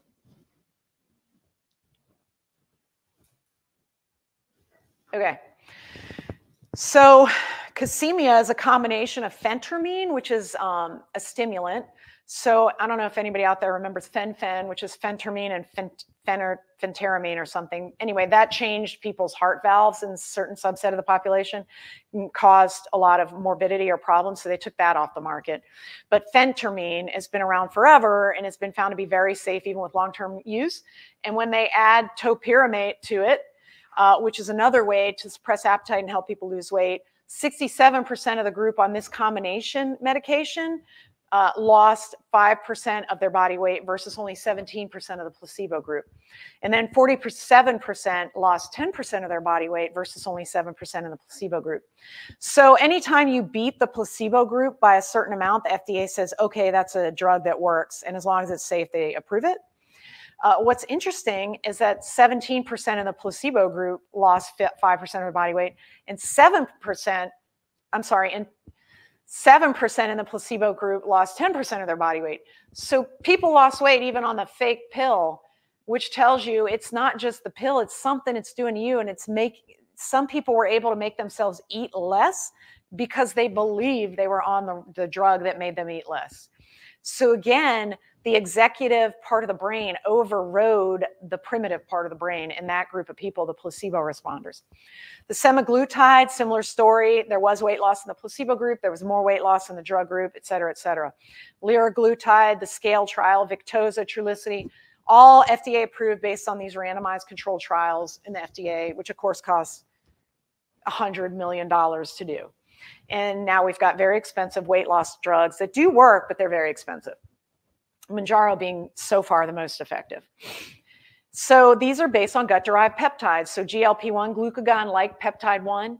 Uh, there's also other gut peptides and liver-based peptides, glucagon, oxino, oxyntomodulin, peptide YY or PYY, cholecystokinin, neurotensin, and then GIP. There's a ton of these incretin and gut-derived and liver-derived hormones that manage how your brain responds in terms of reward and psychological need for food. And then also, the GLP 1s slow down the gastric passage of food and basically change that whole relationship between the gut and the brain and also helps control portion control that way too. Next slide. So everybody is always asking me about GLP and listen, we do wellness, so we do weight loss in my clinic and we prescribe these things all the time for people. Um, I'm a big fan of trying to do things naturally, but I find that in today's environment, with 80% of the food available to most people being ultra processed, and everybody's super duper busy all the time, and nobody can be as mindful about food as they probably should be to do it all fully naturally, these things are a great tool that we have at our disposal now. So they stimulate the GLP receptor in the same way that your natural gut does. So your gut produces this every time you eat, but the half life of what your gut makes is like hours. Um, so you'll eat, your body will throw out GLP-1, it'll change the way your pancreas is producing insulin, slow down gut motility, and trigger your brain to say, I don't want any more food, but it's very short-lived. The synthetic ones are manufactured in a way where you have this sustained effect for a week. Um, so that's why it's a weekly injection. So it's as though you were continually eating to your brain because you constantly have the GLP-1 hitting your brain, which normally is only released upon eating for a very short time period. So it's normally released with nutrient sensing, so-called, again, by the L cells in the intestine. So it's pleiotropic, meaning it has multiple effects. We're now finding that it's heart protective, so it's probably going to get an FDA indication for cardiovascular um, health. It uh, seems to be helping with some cognition that's being studied. And I'm going to tell you, it seems to be helping with some addiction issues, and that's being studied. So it is dramatically affecting the central nervous system, i.e., the brain, more so than we think, even the rest of the body, in ter- for instance, the pancreas and how much insulin is made. So people on GLP-1s get lose more than people on placebo. They have more of that central truncal obesity that goes away, so they lose the waist circumference, which one of the five markers of metabolic syndrome is a large waist circumference. Heart protective, like I just told you, reduces your blood pressure, changes your biomarkers, so you have less inflammation in terms of CRP, changes your lipid biomarkers, changes your hemoglobin A1C levels because you have a better glucose level because your insulin is modified and managed better when you're on these things. The visceral fat is reduced, which is a very unhealthy fat. And then more of your weight loss is fat, but you do lose lean body with this. But on every diet, people lose lean body mass. So there's some stuff out there in the ether about GLP-1s making people lose more muscle mass than fat mass. Maybe most people lose both on a diet. You really have to work hard and do resistance training one to three days a week and eat enough protein when you're on any diet to not lose muscle mass. Your body's preferentially going to go to fat, but inevitably you do lose some lean body mass. So this is a massively successful drug and turns out we're finding that the people that stay on the drug maintain the weight loss more than the people that come off the drug. Why? Because if people go off the drug, go right back to eating what they used to eat and they're not able to transition to this new way of being. So this is just showing you how successful these um, are in terms of time with weight loss. So it's a reverse scale. So going down is actually better. So people on 15 milligrams of Mounjaro over 40 weeks lost about a quarter of their body weight. I mean, that's astounding if you think about it. Ozempic, it was about 12%. Uh, Wegovy with the two milligram dose was about 16% or 17%. And then the 10 milligram dose of Mounjaro, you lost about a fifth of your body weight. And again, the 15, the highest dose of Mounjaro over 40 weeks, a quarter of your body weight. And you just see the stock price skyrocketing. Novo Nordisk is now the most valuable company in Europe, I think. Um, the numbers are astronomical. The costs of these prescriptions are anywhere from 13 to $1,800 per month if your insurance doesn't cover it. Um, but there is a shortage now, so in certain cases, we can also prescribe compounded versions of this, but that is highly regulated. Um, and if the if an FDA manufactured drug is avail available, usually you're not allowed to do that. But if there's a shortage, you can. Now there are side effects with the GLP-1s, the semaglutides, the Wegovy, and the Zepbound. A lot of people get nauseated, they get diarrhea and or constipation, with constipation seeming to be more of a problem than diarrhea, and people will even vomit sometimes. This has to do with the slowed gastric motility. So food just sort of sits in your stomach, then it kind of sits in your small intestine, then it kind of just sits in your colon and where normally you might pass food through in five, six hours, it'll take like 12 to 13 hours. Um, some people, a subset, will get what's called gastroparesis, and they will actually have a paralyzed gut. And that is being looked at right now. There's a very small subset of people, um, and it may or may not be reversible. Uh, so if you do have a lot of these side effects, talk to your physician if you're getting these drugs, and you know this kind of monitored There are some in- instances of pancreatitis, gallbladder issues, but all of that can be monitored by check enzymes, pancreas enzymes, things like that. Um, the effects of obesity are well known and known to be horrific for people. So I would I would say losing weight is probably a better bet than being nauseated. But you got to talk to your physician about which side effects you can tolerate for the massive health benefits of weight loss. So here's a quote from one of the studies weight loss with semaglutide stems from a reduction in energy intake owing to decreased appetite, which is thought to result from direct and indirect effects on the brain. So basically, this is just chemical portion control. Remember, I told you bariatric is mechanical portion control? This is chemical portion control. So you're using a drug to make yourself not want to eat as much, and you don't eat as much. Most of my patients tell me that the little voice in their head that would always say, Oh, I really like that donut. Oh, I really want this. Oh, I want to eat some candy. Oh, uh, that voice just goes away when they're on these meds. They just don't even think about food anymore, which is pretty remarkable and tells you how important the brain really is. So the CNS effects, central nervous system effects are the best and the most effective, but it's also heart protective. You get reduction in your appetite because you're controlling your hypothalamus a little bit more. Insulin stimulates appetite and actually makes you put on fat. These drugs make you have less insulin production over time um, and get your glucose levels balanced. The CNS signals we don't think are related to nausea, and we think most of the weight loss is from the central nervous system or the lack of craving. So these drugs counteract that hijacking of the brain and the dopamine hit that sugary foods give people. So if you're on these drugs, you don't need that dopamine hit. You don't need that good feeling you get from donuts. You don't even care about it. So this is a way to kind of chemically hijack that primitive brain and control it better if you don't have the dorsal lateral frontal um, dorsolateral prefrontal cortex ability of executive control. So this is a way to help your brain manage the primitive brain. So it changes your mindset if you think about that way. Um, so that question before, how do you make people that think healthy food is gross? Um, I find that people on these meds, they are better able to transition to more healthy foods because they just don't care about the unhealthy foods as much. So you got to get the people that love unhealthy food to get over their dopamine hits some way, shape, or form. Um, the Surmount 1 study, the tirzepatide study, 2,539 subjects, statistically superior and clinically meaningful weight reduction. So these drugs do work, but we finally found a formula that seems to matter, and that is the formula that manages the reward cycle in the brain, the psychological response to these ultra processed foods. So now they're studying it for addiction control. So sugar is hedonic, and sugar gives you a dopamine rush. So does fructose, the same way that cocaine does, or heroin does, or fentanyl does. Maybe not as much, although brain and functional MRI studies will show that the brain lights up just as much in many cases. But once you start eating these highly palatable engineered foods and your brain starts to become used to this rush, this hit, this reward being satisfied, this anticipation being met. That's what leads to craving and binging and tolerance and withdrawal. The same things that happen with addiction. And so now they're studying these drugs to help addicts that are addicted to um, illegal substances like illegal drugs and, and then legal substances like alcohol.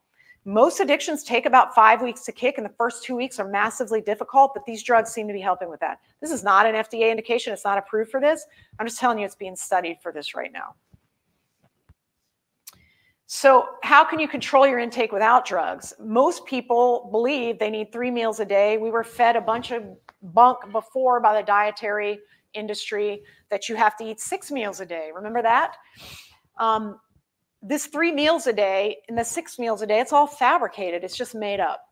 In the colonial era, in the 1600s and 1700s, when we were all farmers and it was an agrarian society, people ate a breakfast and they ate a huge lunch. If they ate dinner, it was a very small dinner and they didn't really have dinner. So there was a two meal a day society.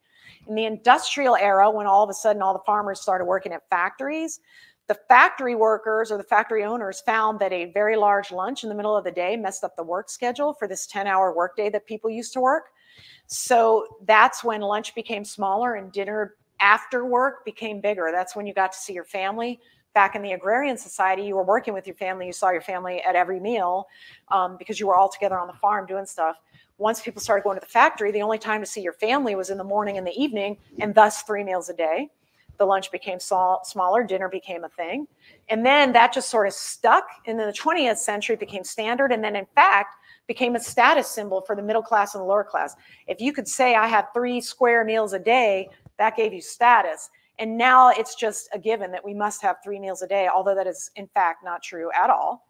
Um, now, some people are starting to think more about the time restricted eating and the intermittent fasting, which has proven that you don't need three meals a day and you can still be very healthy. In fact, much healthier than the people that are eating three meals a day.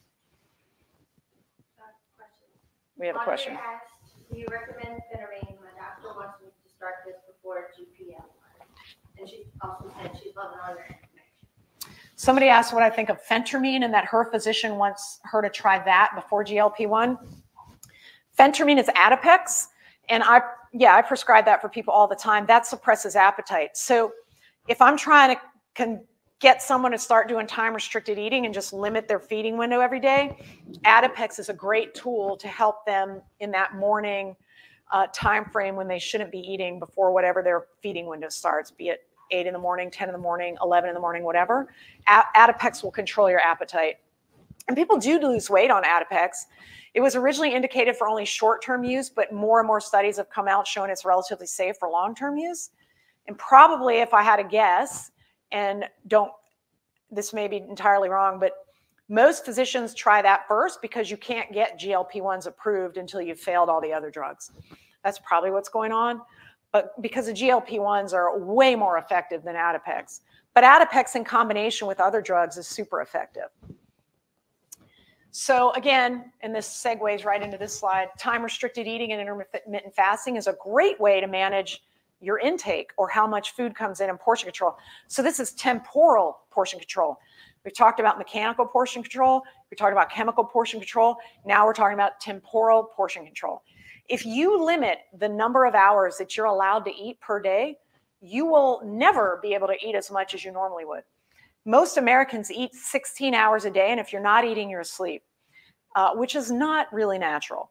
Time restricted eating shuts that down. So you might have a 10 hour feeding window and a 14 hour fasting window 12 12 8 16 so on and so forth the key to this diet is it it's not really a diet it's more that it's giving your body the normal fasting feeding cycle that it needs for that fight against entropy that we talked about in the beginning the second law of thermodynamics the only way your body can repair and fight the disorder that is natural the protein breakdown, the lipid membrane breakdown, the DNA breakdown, is to have a repair cycle, and that is the fasting cycle. So if you want to prevent arthritis, prevent pain, prevent stiffness, you have to give your body a repair cycle, a maintenance time frame every single day. And that's why time restricted eating is super duper helpful and it helps your brain. And then once you get on a time restricted schedule, all of the hormonal signals and the neural inputs to your brain change with you over time and you stop craving food all the time. You really only get hungry when your window opens, and then you are totally uh, full or you have massive satiety when the window closes. It just becomes a natural way of being. Intermittent fasting is a little bit different. The terms are interchangeable oftentimes. Intermittent fasting is like literally not eating for a day or more um, and then eating on the other days of the week. I don't really like that plan um, because I'm a big believer in the circadian rhythm too. And I want eating to match the circadian rhythm. And if you don't eat for a whole day, that does not match this, this dark light cycle. Studies are ongoing. People are looking at this very heavily right now, but I'm a big fan of time restricted eating and try to get my patients trying to lose weight on this because it just takes all that mental effort of weight, like thinking about food off the table. So it's even been shown if you still eat a crappy, terrible, ultra processed diet, but you limit the number of hours you eat it, you still are healthier. Now, ideally, you would have a Mediterranean diet that was a little bit limited in terms of portion on a temporal schedule, and that's that's when you get really, really healthy. But this is just a trick to use where you don't have to count calories, you don't have to count macronutrients, you don't have to worry about that, you don't have to think about it all the time. You just know I can start eating at 10 and I can't eat after 8, and that's all you have to think about. So it takes the mental effort and the psychological burden of all of this dieting away. So again, still being looked at. Nobody's really, there's no consensus overall, but we do know that people get healthier. They lose waist circumference. They get less inflamed. They, um, every, they have less cognitive dysfunction. Everything seems to just get better on this. Next. So here's one study, 90 subjects. One group ate over a 12 hour, that was your control group, and one group had only eight hours a day to eat. The time restricted eating group was non compliant, meaning they broke their diet once, one day a week. And then, even with that, which is a no no if you follow circadian medicine, um, you, consistency is really key for that repair cycle for your body to fight that chaos even when they broke it one day a week, the effects of the time restricted eating was essentially about 200 kcals less per day. Remember way back in the beginning, I showed you that that coffee with a cup of milk, which is like probably just about this or maybe less, that was all that it took to gain that seven kilograms over 10 years. So just doing this and you've already stopped that change in your settling point and you've limited your overall caloric intake by about 200 calories a day on average multiplied by 10 years, and you're not going to gain the amount of weight that most adults in the Western world do. They also found that blood pressure dropped, mood got better, depression dropped, and fatigue improved on a time restricted eating schedule. So, more weight loss and more weight loss if it was an earlier schedule. That's what that E is. So, the people that started eating earlier in the day, why? Because it matches the circadian rhythm and normal cortisol spikes, and you stop eating with normal melatonin spikes. So, if you can match the sun dark schedule with your food intake and outtake schedule, that is the best of all worlds. The common theme to all of the weight loss strategies at work, bariatric surgery, the semaglutides, time restricted eating, is eating less.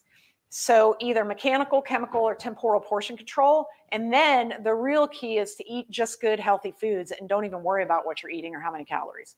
If you eat in a certain time period, if you're matching the circadian rhythm and you're eating a healthy diet, you're probably not going to gain weight or you'll stay healthy. So the GLP-1 agonists reduce appetite and craving and give a sense of satiety. Bariatric surgery does the same thing. And then caloric restriction works because you eat less, but it's very mentally fatiguing, it's stressful, and nobody likes it, and 95% of diets fail. One out of three of people on the semaglutides in the Mounjaro world lost 20% or a fifth of their body weight. The same outcomes as bariatric surgery at the one to three year point. So the trick is, what if you could find a way to do this without drugs or surgery, which is the ideal world, right? Because then you don't have to pay $1,800 a month for Wegovy or, I'm sorry, Zepbound or Ozempic, and you don't have to go have your stomach stapled. Um, and that's what I try to help my patients with is a more natural way to do all of this. Sometimes it's not possible and you have to take these drugs, but ideally you would get to the point where you're doing it naturally and you don't have to take these drugs forever. Because honestly, they haven't been on the market that long. We really don't know the long, long-term side effect profile. So, you know, keep all of that pharmaceutical wonder drug with a with a grain of salt in the back of your mind. I think if you can convert to just a natural way to do it, it's going to be better. So next slide. So 120,000 subjects in this study followed for 20 years. And guess what they found out? Weight gain was associated with eating more of worse foods. Again, I just love the studies that are duh, common sense. So they followed these subjects for 20 years. Imagine how much money this study cost. And figured out that the people that gained weight ate crappy food and ate more of it. The low quality foods were potato chips, uh, white potatoes, probably with a lot of um, butter on them. Sweet potatoes are a superfood. Sugar sweetened beverages. Most people gain weight on liquids, so sugar sweetened beverages. And then red meats, processed red meats.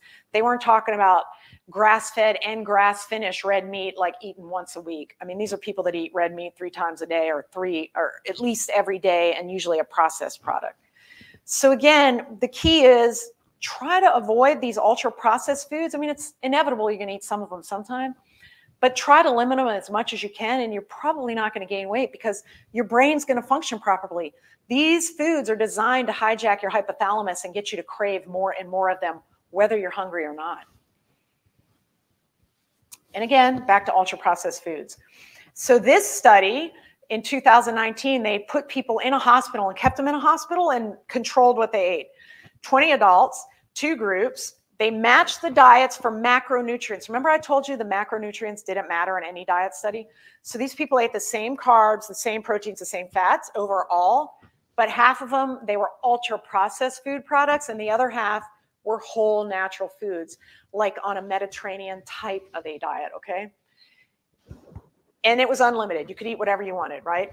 But in this group, these are the only kinds of foods you could eat. In this food, this group, this is the only kind of food you could eat the, the ultra processed food group in general ate 500 calories more per day than the other group. Now, 500 calories added up over 10 years, you're going to be way more obese than the other group. And they were both allowed to eat unlimited food. They didn't they weren't like calorie restricted.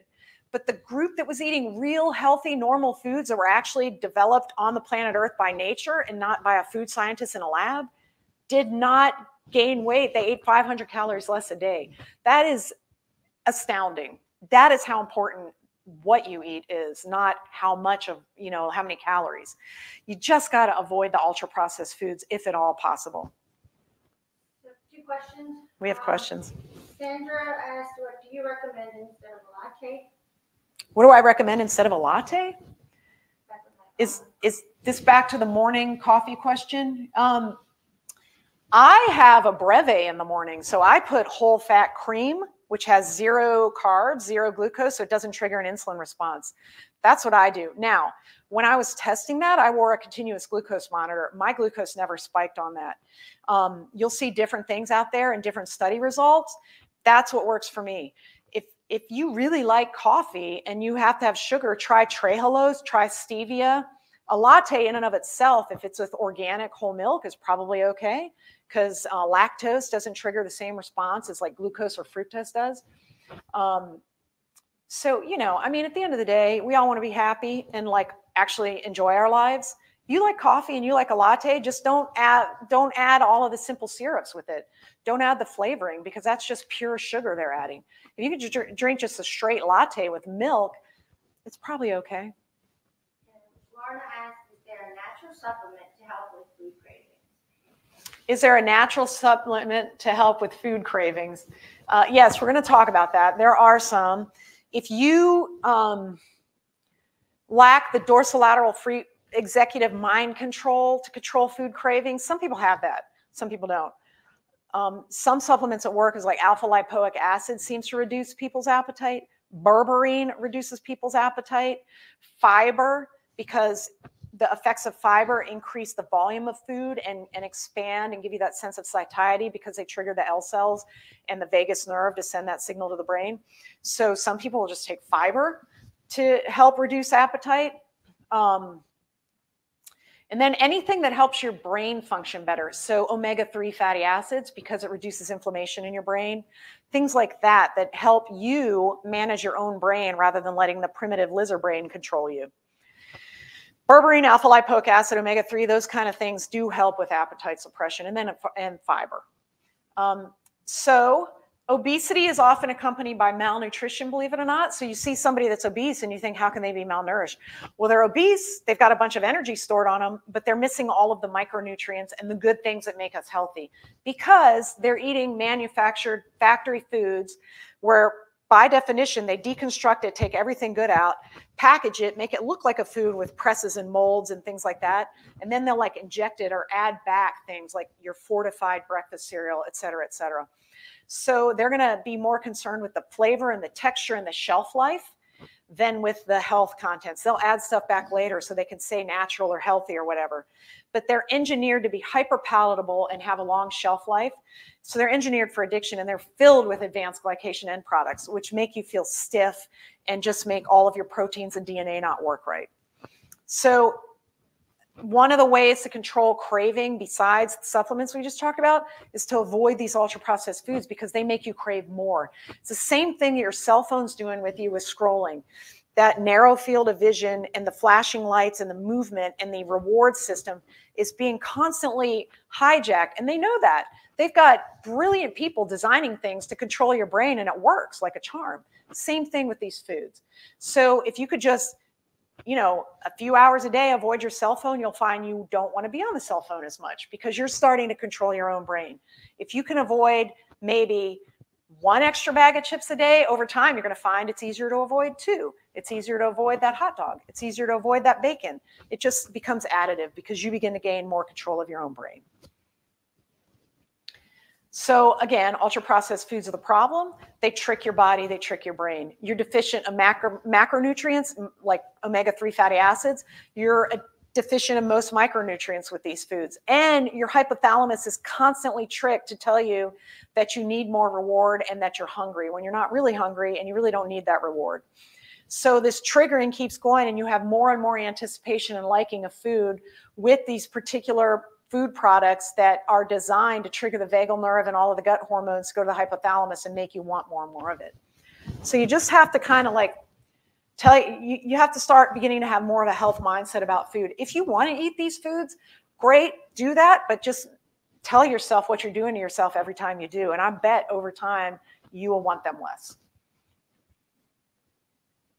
And just understand that industry is winning. Mark Zuckerberg is a gazillionaire because of this trick that they've worked with thing. TikTok is same thing. They're all making gobs of money on us. Um, you know, look at the quarterly profits of the food industry, the healthcare industry, and the pharmaceutical industry. Um, ultra processed foods create a lack of executive function. You can't control your own brain when you're on these foods. They increase your dopamine hits and increase the propensity for being addicted to those types of foods. Um, mental health is dependent on your omega 3 levels. Most processed foods have no omega 3s in them. So if you don't have enough omega 3s, you don't have a good cell membrane, your neurons don't work right in the brain, nothing's stable, everything's stiff, um, and you have more inflammation in the brain. So if you don't have the basics to have good brain health, you're never going to be able to control the urges and the processing. That's why I say omega 3s are important. And then on top of that, the food industry is now telling you that being obese is beautiful and okay. And if you say being obese is unhealthy, you're somehow fat shaming, when really you just want people to be healthy and happy. There is nothing healthy about being obese. No scientific study can ever show that. At least I've not read one. So just don't be duped by industry, is what I'm trying to tell you. And I know it's hard to fight back, but incrementally you can if you take these little certain steps. The easiest thing to start with is time restricted eating. Start with a 12 12 window and slowly shrink it over time. And you don't have to do it fast, do it over months. You know, cut out one ultra processed food a week. Take, don't go to, when you go to the grocery store, don't buy one type of ultra processed food. If it's not in your house, you're more likely to not eat it. Tell yourself, if I really, really want those bag of chips, I'm going to let myself go to the gas station and get it. If you actually get up and get in a car and go to a gas station and get it, have it. Most of us, all we have to do is pick up the phone and DoorDash brings it to us. This is a problem. Make yourself have extra effort to get these bad foods. Begin to have a health mindset. So, the other thing I'll tell you about restaurant food, I don't really go out to eat anymore because they routinely reuse frying oil over and over and over again to the point that becomes this toxic sludge. And that's what they're cooking your food with. So, it's even worse than you think it is fried food. I just wanted to throw that in there because the reused oil is oxidized and it has carcinogenic chemicals in it. And I'm just no fan of that. Mice that were given reused cooking oil, which is common in the restaurant industry, especially the fast food industry, grew cancer metastases at a fourfold faster rate than mice that were fed fresh frying oil versus a low fat diet. Just keep that in mind when you go to these restaurants that are serving you these hyperpalatable foods as well. And also, I'm just going to throw this out there genetically modified foods are replete in our diet nowadays. And guess when that started? Right when the obesity crisis did. So they started entering the market uh, around the 80s, 90s timeframe. And now almost all crops in this country are genetically modified. And what does that mean? They are genetically modified to be resistant to glyphosate, Roundup. So they are Roundup ready crops. So not only are you eating a genetically modified product that's never really been tested at all, if you look into the literature, um, it's just been considered generally recognized as safe because it's corn, so corn is corn. The genetic modifications and their overall long-term effect on human health, particularly mitochondria, was never looked at. Um, and more importantly, now you're eating a pesticide-laden food that is genetically resistant to that, but you're not genetically resistant to glyphosate. Just throwing that out there. No, this is being looked at. There's no consensus. Nothing's been proven either way. But the advent of this in our diet, and 80% of our urine samples have this stuff in it. 90% of corn, cotton, and soybean. And guess what's in all of the uh, ultra processed foods? corn oil, soybean oil, and sometimes cottonseed oil. All of it, 90% is GMO, Roundup ready. So I try to only eat organic food if at all possible. I know it's really hard for some people, but if you can do it, you should because then you're avoiding this Roundup ready GMO food, which we really don't know what that's doing to human health. All we know is it's been around relatively recently. And the obesity epidemic and diabetes epidemic and all of our cancers and all that also has been around relatively recently. That's a correlation, not causation. So I don't want to get in trouble out there. Um, this is just showing you the crops and where glyphosate usage is um, happening the most. And the darker colors is more glyphosate versus the lighter colors. And then that chart is showing you the adjusted age adjusted deaths from obesity plotted against the percent of genetically engineered corn and diet, uh, corn and um, soy, sorry, in our diets. And don't forget, most red meat in this country is fed corn and products that are genetically modified. So most of your red meat is coming from this too. And then just to show you, if you look at the brain of an anorexic person versus an obese person, you actually see different parts of the brains light up. So more dorsolateral prefrontal cortex activity in somebody that is avoiding food, less in somebody that is actively seeking food. All of this has to do with your brain, which is really against all of the traditional views of dieting that used to say you would only eat when you're hungry and only uh, not eat when you're not hungry. None of that is true, turns out. It's all about brain science and the gut brain axis. And that's why these newer drugs and the bariatric surgery work well because they help modify how your brain is responding to food. Yeah, we just talked about that, so we can move on. So work on self-awareness. So just be aware, I like this food because it is designed to be liked. It is engineered to be extremely tasty, and that is why I like it. Know what it does to your body. Know how it makes you feel after you eat it. Get a growth mindset and a health mindset. And then uh, once you're sort of more aware of what you're eating, you almost naturally start to eat better. If you you just have to believe what I'm telling you. Now, some people believe that Cheetos are as healthy as broccoli. You know, what am I going to say to that person? I don't know. I know broccoli is healthier than Cheetos. I prefer to eat broccoli. Now, do I like Cheetos? Yes, they're delicious. They're perfect. It's the most finely engineered food out there, in my opinion. But if you tell yourself, I'm so hungry right now, I would eat raw broccoli, then you're probably really hungry and you probably actually need to eat. But if you tell yourself, I'm so hungry right now, I would not eat broccoli or you wouldn't eat broccoli, you're probably really not that hungry. But if you would have a donut, that's really your reward center of your brain talking to you, not the satiety center and the hunger center, okay? So just try to start to begin to have a growth mindset, and that helps control those cravings. A question. How does stress and hormones play in the weight gain when healthy diet has not changed? They, they oh, I see. I see. Okay. Somebody's on a healthy diet, but they're stressed out and they've had hormonal changes. Well, we've already talked about all of the hormonal effects on the brain and some of the other hormones we didn't really get into, like testosterone and estrogen and thyroid hormone and all of that. Hormones do play a very large role in um, weight loss and weight gain in terms of how much you're eating and not eating. The, there's a thyroid receptor on if not all cells, most cells in the body. So if you're hypothyroid, if your T3 is low, your tissue thyroid, then yeah, things aren't going to work as work as well, and the mitochondria don't function as well, and um, your lean body mass might drop, and same thing with low testosterone, things like that, and then your basal metabolic rate might change.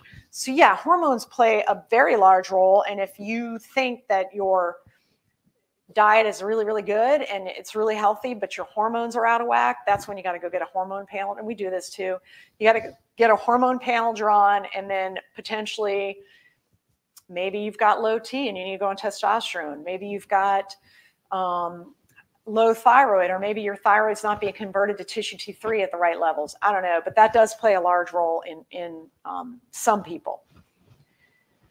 So the reward center in your brain is very large and very well distributed. There are multiple locations that are involved in this anticipation and reward. That is what got us through, you know, from caveman to now is the reward and the anticipation and the seeking and the constantly looking for better.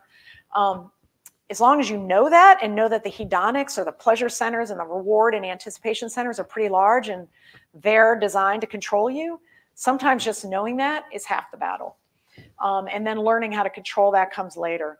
So dopamine is your reward hormone or your anticipation, I'm sorry, neurotransmitter. And then the opioids and the endocannabinoids are more the reward, okay? Um, naltrexone, which is one of the um, drugs I mentioned before, or maybe I didn't. Naltrexone's been used in the addiction community for a long time to reduce the reward cycle or the reward craving system. And now we're starting to use naltrexone, low dose naltrexone, um, to help people control sugar and fructose cravings. So I think the key is the brain and the gut and controlling that access, giving your gut enough fiber to get the gut biome producing the right neurotransmitters, giving you that volume for satiety, and then the reward centers, controlling those a bit more. So just so you know too, again, the world is out to get you and it's just you and me against them. Think about all of the posts you've seen of celebrities with food. It's always something unhealthy. Think about athletics how that's always sponsored by very unhealthy food products. So social media accounts of 181 celebrities were looked at, and there were about 3,000 posts with about 5,000 food and beverages. 40% of them were snacks and sweets, 50% were alcohol, and then 90% of the posts of celebrities were scored unhealthy enough to fail the legal youth advertising limits in the UK. But they're allowed because they're just social media posts. They're not technically an advertisement. And then, worse than that, the social media posts that did show healthy foods, nobody liked it. They got fewer likes. So the algorithms don't amplify those posts. The algorithms amplify the posts of celebrities with crappy food because people click like on it. So we're kind of hurting ourselves, but industry is helping us hurt ourselves. Just like, you know, if you tried to open a broccoli store in the middle of a city, it would probably close right? Because nobody's going to go there because they want the tasty, hyper palatable fast foods. But I'm just trying to tell you that this can be changed, but the only people that are going to change it is you. Uh, the industry is not going to change it because they want to make money. And if the likes are coming for the crappy food, guess what they're going to make more of? So just throwing that out there too. Um, so I just think of it as us against them. And the more knowledge you have, the more power you have to fight back against this complete takeover of your health. So, again, focus on your health, get a health mindset. Remember, your brain is involved. Don't worry about how much you weigh. I, that's irrelevant. Worry about how healthy you are. The weight will come off as you get more healthy. Yes, exercise, but exercise for brain health and for longevity and a long health span. Don't focus on exercise purely for weight loss lift something heavy a couple times a week and keep your lean body mass at a good level, if not a better level. Uh, fat-free mass is the regulator of your basal metabolic rate. So the more muscle you have, the better. And also that plays into brain health and bone health and things like that as you get older. Um, everything that works, bariatric surgery, semaglutides, Wegovy, Mounjaro, Zepbound, time restricted eating, intermittent fasting, they're all working because they're limiting your portion of food that you're eating every day. We're going back to the 1950s and 60s portion, which were normal portions. Now we're eating hyper portions and we think it's normal, but it's not normal. I think time restricting your eating window is beneficial for a number of reasons. And then back to one person's question before, consider ketogenic diet for the initial weight loss kickoff because it does put you into ketosis, which has you burn more fat. But I just don't like that for a long term solution. I don't think it's sustainable. I love the Mediterranean lifestyle for a long term sustainable solution. Eat as much fiber as you can. Uh, fiber is known to be massively healthy. I don't think you can overdose on fiber. Super, super healthy. Eat whole natural foods replete with fiber like fruits and vegetables, whole grain cereals, whole grain breads. Avoid ultra processed when you can. You're not going to be able to avoid it 100%. That is impossible in America. Just avoid it when you can. And if you can, eat organic, non GMO foods, if at all possible. Again, the data is not clear in that, but I just think my gut tells me to eat organic, no pun intended. So, those are some tools for you. So, again, the time restricted eating, I think, is the easiest way to sort of ease into this uh, world of health. And I try to match it to weight sleep wake cycle. And really, you have to have a good sleep wake cycle too. So, a good circadian rhythm, solid bedtime. This is kind of a health protocol that I promote. Solid bedtime that you don't really vary much at all. Same thing with your wake up time. Put your eating windows somewhere in that, match them. because that gives your body that fasted sleep time to do all of its repair to fight the chaos that your body is going through on a daily basis. So this is all coming out. I'm, i actually wrote a book for how to treat um, orthopedic issues naturally, and a lot of the same principles that go into how to lose weight naturally. It's the same thing, same fundamental problems, right? Avoiding ultra processed foods. You don't want all this excess inflammation and oxidative stress. You have to let your cartilage and your bones and your joints and your ligaments and your muscles have time to repair themselves. So it all kind of plays in together to become a healthier person and if you do that, you're naturally going to feel better and have less pain, and your joints will function better. So that is a brief intro to sort of the weight loss world, but it also applies to many other uh, health concerns, such as orthopedic concerns. So what do I do? So if patients are having a lot of trouble losing weight, I'll offer berberine as a natural solution or ALA, but sometimes I'll prescribe metformin. And then if they can, a GLP-1 agonist or a GLP-1 receptor agonist. Um, coverage is always an issue, insurance coverage. Again, when it, with a drug shortage, sometimes we can get away with compounds, but that's rare. Um, and the FDA frowns upon these things in most cases. But when there is a drug shortage, that is a possibility, but they're still expensive. I have referred plenty of people for bariatric surgery because that surgical risk, I think, is much lower than the overall risk of being morbidly obese. Uh, now I recommend the GLP-1 receptor agonists more often. Those are usually only covered for um, by insurance companies for diabetes. Most still aren't covering them for straight up weight loss. Um, I think those days are coming. They're just not here yet. If a lot of weight needs to be lost, again, back to the earlier point, I usually recommend time restricted eating. Sometimes I'll give Adipex to help people ease into that with a ketogenic diet. But again, I don't like ketogenic for long term. That's just me. I'm a bigger fan of an omnivore, high fiber Mediterranean lifestyle. Sleep is hugely important. People that don't sleep well gain weight more, are more obese, have more joint problems, have more disease. Shift work has been called a cancer risk by the World Health Organization. It's just shift work and bad sleeping schedules is a well-known dramatic health risk and definitely helps people gain weight. So getting on a good sleep schedule is very, very important. We already talked about Mediterranean diet.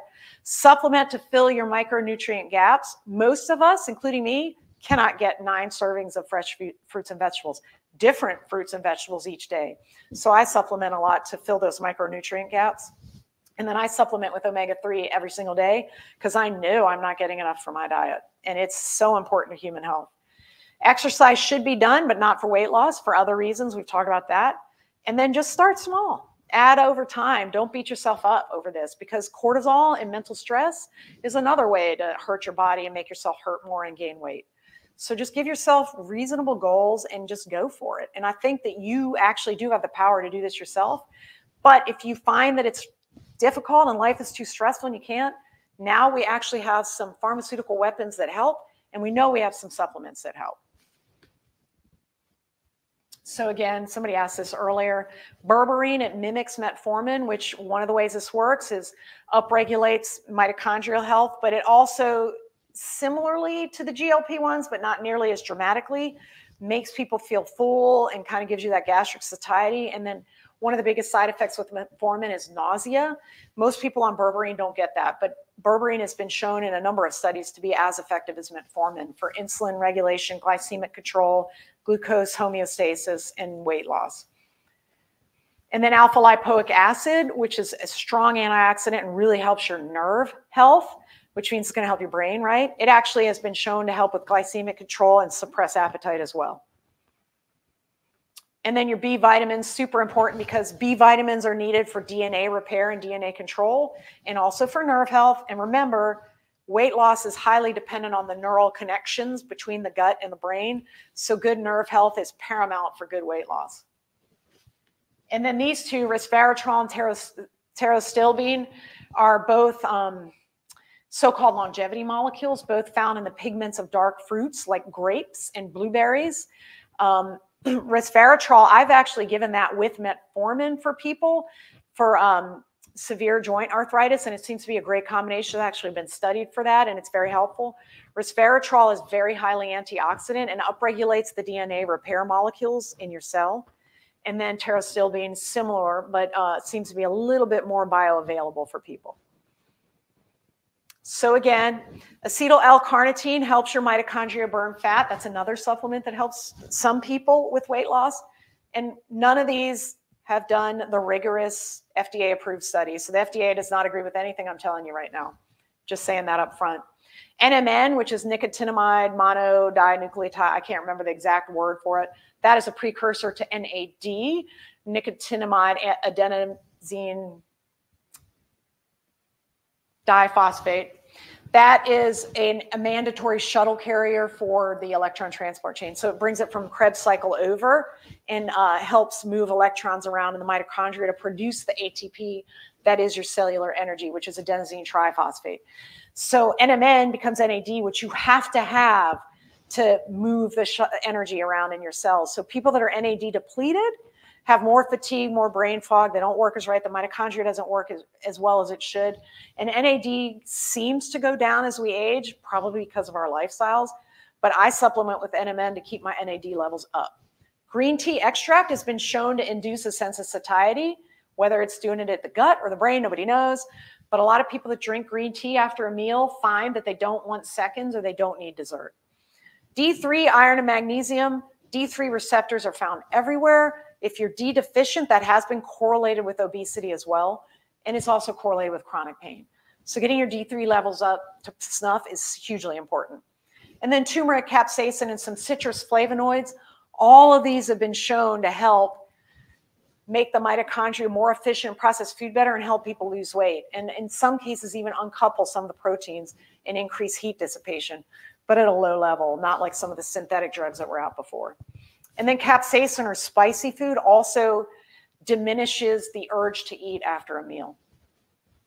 So these are just all things you can do that are very healthy. And all of these have anti-inflammatory and antioxidant side effects, which are very beneficial. Uh, has a question. Can ALA and berberine be taken at the same time? Why or why not? The question is, can ALA and berberine be taken at the same time? Yes. I take them together in the morning sometimes. ALA should be taken on an empty stomach. It gets absorbed better that way.